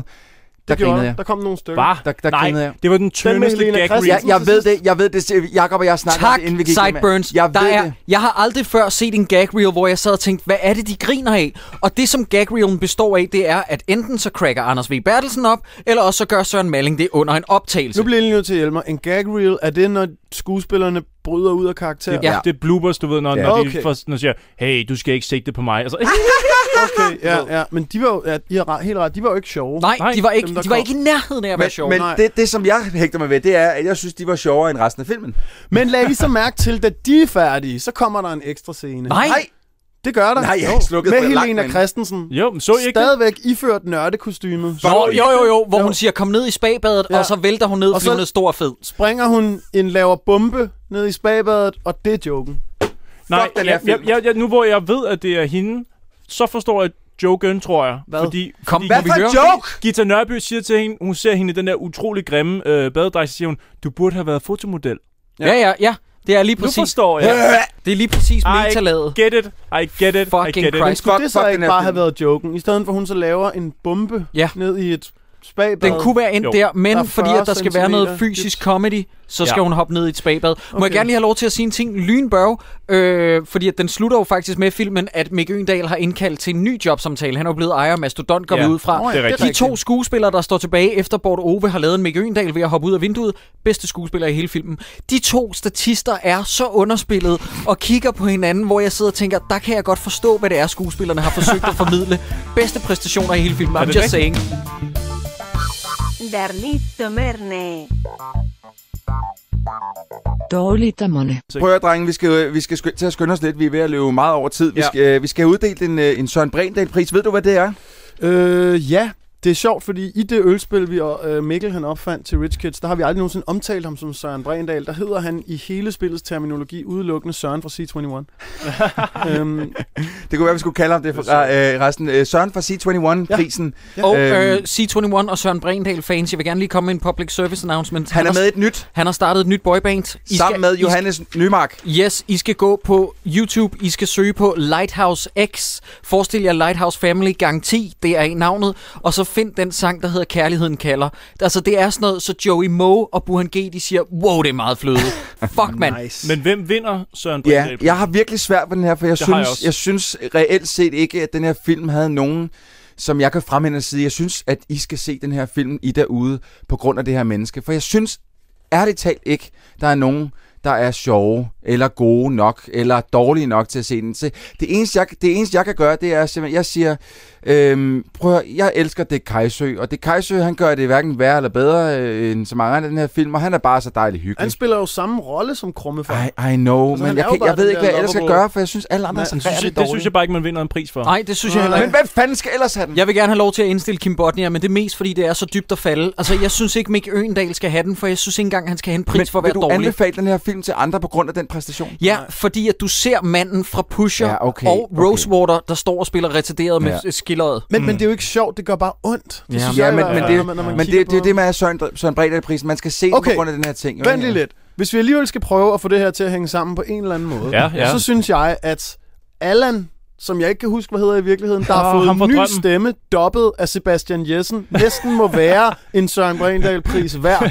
Fordi alle de replikker og mærkelige ting, han kommer med gennem filmen, er også sådan lidt ufrivilligt komiske, fordi Det er det, er det. så mærkeligt spillet. Og så er der ligesom et ekstra lag flødeskum på toppen, i og med, at han også bare er dårligt dobbet Ja, samtidig. ja, jamen, det er han. Så det hele er sådan Er lidt det, er det bare halvmærkeligt mig, eller de fleste punchlines, han kommer med, er, er simpelthen, øh, det sagde hun også i går. Ja, det er sådan Det er noget, sådan noget. Henrik. Hvorfor er han der egentlig? Jeg bliver Ja. helt i tvivl nu. Jamen, hvor, hvorfor er Thor Lindhardt der? Altså, det, så kan du se om flere mennesker i den her ikke. film. Og ikke. hvorfor er han dobbet, for ligesom at komme tilbage til den diskussion? Nej, ja, han, er, meget- han er meget bizarre. Jeg, var- jeg, er jeg, på vej herhen har jeg tænkt over, at vi, øh, jeg vil øh, indstille Martin Brygman, fordi han, han, er, han spiller bare crazy, men det gør han, også bare så han er tit. Jamen, han er nederen som crazy, altså. Ah, jeg, jeg, jeg tror godt, godt jeg vil hoppe med på din vogn der, Pede. Jeg synes, fordi at, at, at Allan var sgu den eneste, der fik mig sådan sidde, til at sidde og tænke lidt i den her film, hvor jeg så tænkte, er han, er han, er han dobbelt? Den skuespiller hed Janus et eller andet, så vidt jeg husker. Det kan godt passe. Er Mm. Ham fra 100% drømmen. sikker. Tillykke, Janus. Watch your face. Du har vundet.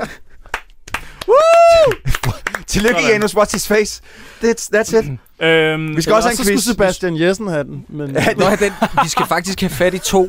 ja, det, de vind, det, det, det første det to split nogensinde. Så Ja. del, vi deler to priser ud i den her omgang. Det bliver til Sebastian Jessen og Janus What's his mand. face. kombineret performance. Ja. Jeg har også lavet en quiz til jer, drenge. Den store ekstra materielle quiz! Quiz. Baseret på internettet, fordi jeg ikke havde DVD'en. Desværre. dig. Men hey, prøv at høre. Lad os bare komme i gang med den. Ja. Første spørgsmål. Danskerne så også danske film i 2009. Der blev solgt cirka 2,5 millioner billetter til øh, danske film det år. Men hvor mange procent af alle billetterne til danske film gik til julefrokosten? Kilden det er artik- en artikel på øh, filmstor.dk. Pede, øh, du er vores gæst, så lad, vi lader dig svare først, tror jeg. Øh, jeg, vil, jeg vil helt klart tage det laveste af de to valgmuligheder. Ja. Jeg kan kun forestille mig, at anmelderne må have sablet det her. Jeg er mere Ja. pessimistisk, så Øh, jeg, så- jeg, så jeg den- tror, den- jeg, jeg er på De den to høje. valgmuligheder, du har skrevet op, er 7,2% eller 2,4%. Jeg Lige siger præcis. helt klart 2,4%. Okay. Øh, øh, danskere er dumme, når det gælder film, så derfor siger jeg 7,2. Eftersom Blå Mænd blev set af 450.000, så vil jeg også sige 7,2. Så næsten, I mener seriøst, at næsten hver tiende billet blev solgt til julefrokosten derovre? Yes. Ja. Det er rigtigt. Jo! Ej, jeg hader at have ret. Ja. Fuck, mand. Det, det, det, det er så deprimerende jo. Altså, det er så deprimerende. Jeg kan lige øh, følge op på den, der står her. Filmen solgte 180.000 billetter. Øh, havde du et højere tal? Nej, men øh, er Blå seriøst 180.000 billetter, den her film? 180.000. Seriøst? Ja. I, ifølge øh, Films.dk. Pede, prøv at høre her. Wow. Blå Mænd blev set af en halv million herhjemme. Den, den har jeg slet ikke set, Ej, eller det- noget som don't helst. do- Den don't do it. Senere afsnit. Senere afsnit. ikke. Okay, okay. We'll Bare get to it. 180.000 billetter Fuck. solgt, ikke? Og det samlede øh, så, antal solgte billetter i Danmark til danske film var 2,5 millioner. Men, men så er den jo gået hjem, den her film. Ja, ja, Så er der ja. jo ikke nogen, der har skulle gå fra deres hus eller Nej. noget som helst. Er det ikke deprimerende? Nej, var det vildt. Men hvad hedder det? Men samlet så blev der solgt øh, 13,5 millioner billetter øh, generelt i biografen i år. Det vil altså sige, at det er faktisk et af de dårligste år for danske film. Fordi de kun solgte 2,5 ud af 13,5. Nå, prøv at høre. Den oprindelige julefrokosten fra 1976, der er en skuespillerinde, som hiver brysterne frem, begge forlygter ud af øh, blusen, for at bevise, at de ikke har lavet skumgummi. Hvem spillede hende? Der var, det Kirsten, har- ja. var det Kirsten Nordholt, øh, set i Nordkraft, og mor, mor til øh, Mathilde Nordholt? Åh. Eller var det øh, Susse Vold, set i Jagten, og Madrid- Madrid- Madrid-aftalens følgetong Skøjteavnen? Pede? Øh, så siger jeg Kirsten Nordholt. Jeg er helt med på den. Jeg er ret sikker på, at uh, Susse Vold aldrig har vist patter. Jamen, jeg tror også, det er Kirsten Nordholt. Også fordi hun var der en del af det der i tyrens tegn og så videre. Sikkert. Alle de der sexploitation danske løsspil. Må være utroligt dejligt for... Jeg hørte ikke lige efter, jeg er lige gang med min øl herovre. Vi sagde, vi sagde alle sammen, hvis du gider at tage dit job seriøst, Sideburns. Jamen, jeg er Vi lige gang med min classic herovre. Vi sagde alle sammen Kirsten Nordholt. Er det ikke en julefrokost, eller? Jo, jo, jo. Nå, fest, okay, fest, prøv at, I fest, får alle sammen point. Yes! Ja, det er Kirsten Nordholt. Jeg har ikke selv set filmen, men hey, jeg har set klippet, og det er rigtig nok. Øh, det ligger De også er ikke lavet skumgummi?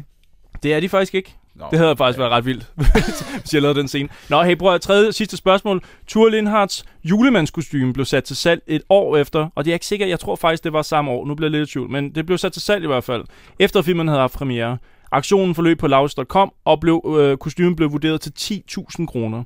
Hvad endte den heldige køber med at give for kostymet? Okay, gik det her til et velgørende formål? Ja, det gjorde det, Jacob. Åh, oh, thank fuck. Okay. Det gik til julemærkehjemmet, så bare rolig. Okay, godt. Men jeg tror, at den gik for 3.300 mulighed B. Ja, jeg tror, den gik for, for 13.000. Ja, jeg- jeg er med på fordi, fordi jeg husker de der... Øh, jeg tror, jeg har prøvet at byde på noget én gang. Eller sådan Ja. noget. Jeg husker de der Laurits.com auktioner, som at der er et, et minimumsbeløb, hvor den bare bliver ved med at overbyde hver gang folk byder mindre end det. Okay. Så jeg tror ikke, den kan ryge så langt ned, hvis den er Ja, jeg vil vurderet gerne til tre gange. Ændre min svarmulighed til det samme. Nej, nej, nej, nej, nej, hænger nej, på dig. nej. Du siger 13.400? Nej, han sagde, tre, du, han du sagde siger 3.300. 3.300, og I siger 13.400. Ja. Og den blev vurderet til 10.000. Tror I seriøst, at der var nogen, der vil give Ja, desværre. Altså, hvis den her film solgte 180.000... for et julemandskostyme, som Thor Lindhardt har gået i? Ja. Vi har ret, jeg kan det. mærke De fik kun 3.300 for Nej. det. Yes! Så står det jo 2-2-2. Der er Ja. ingen vinder. Det må det. Ja. Jeg har kun et. Nej, du har Nå, kun du et, kun et. ja. Nå. Så det er to til hver. Ej, ja. Jeg vil godt give dig mit Værterne point. vinder. Stærkt. Prøv en sidste kommentar til den her lavs, der kom. Man kan se herinde øh, oversigten over, øh, hvordan den øh, første bud øh, 2.900, øh, og så op til 3.300, så den er ikke rykket sig så meget. Der er kun fem, der ligesom er budt, men tre af dem er den samme person. Og Som bare har overbudt sig... og, nej, nej, nej, det gør man vel ikke. Jeg har virkelig i dag vredet min hjerne, for jeg har været inde på Fritjof-film på et tidspunkt øh, og besøgt dem og set lokalerne, og jeg er næsten 100 på, at jeg så det her julemandskostyme stå derinde på Fritjof-film. Okay. Jeg har en idé om, at det er Nå. den samme gut, som har budt øh, første gang, tredje gang og sidste gang, øh, Okay. for at, og som er Fritjof-film selv. Sideburns, har de stillet det i sådan en form for glasmontre, som om, at det her det er deres fucking Batman-outfit? Det er deres Planet Hollywood. Det er, Det, fuck, hvor er det det ulækkert. er, nu beskriver jeg lige, tyk sort ramme, øh, glas, øh, julemandskostyme presset ind med lidt information om filmen nede og en autograf øh, inden, klemt ind i det her Fritjof glas. Film Drop a Bomb. Men prøv at høre, drenge. Øh, vi har noget utroligt vigtigt, vi lige skal have, have sagt, og det er jo, der findes jo en øh, julefrokosten 2 og Pede. Ja, Hvad? Så skal vi jo have dig tilbage. det vil jeg meget, meget gerne. Julefrokosten 2? Hey, hey, Ja, sgu. prøv, lige at stoppe. At, hvornår? Hvad? Hvad for Den noget? øh, er på vej ud i biffen. Nå, der Nej. kommer en. Seriøst. Det er løgn. It's true. Hvad? Er, er det Rasmus Heide igen? Højst sandsynligt. Jeg har, jeg, har, jeg har kun set plakaten. Jeg, jeg aner det faktisk ikke. Holy Men øh, crap.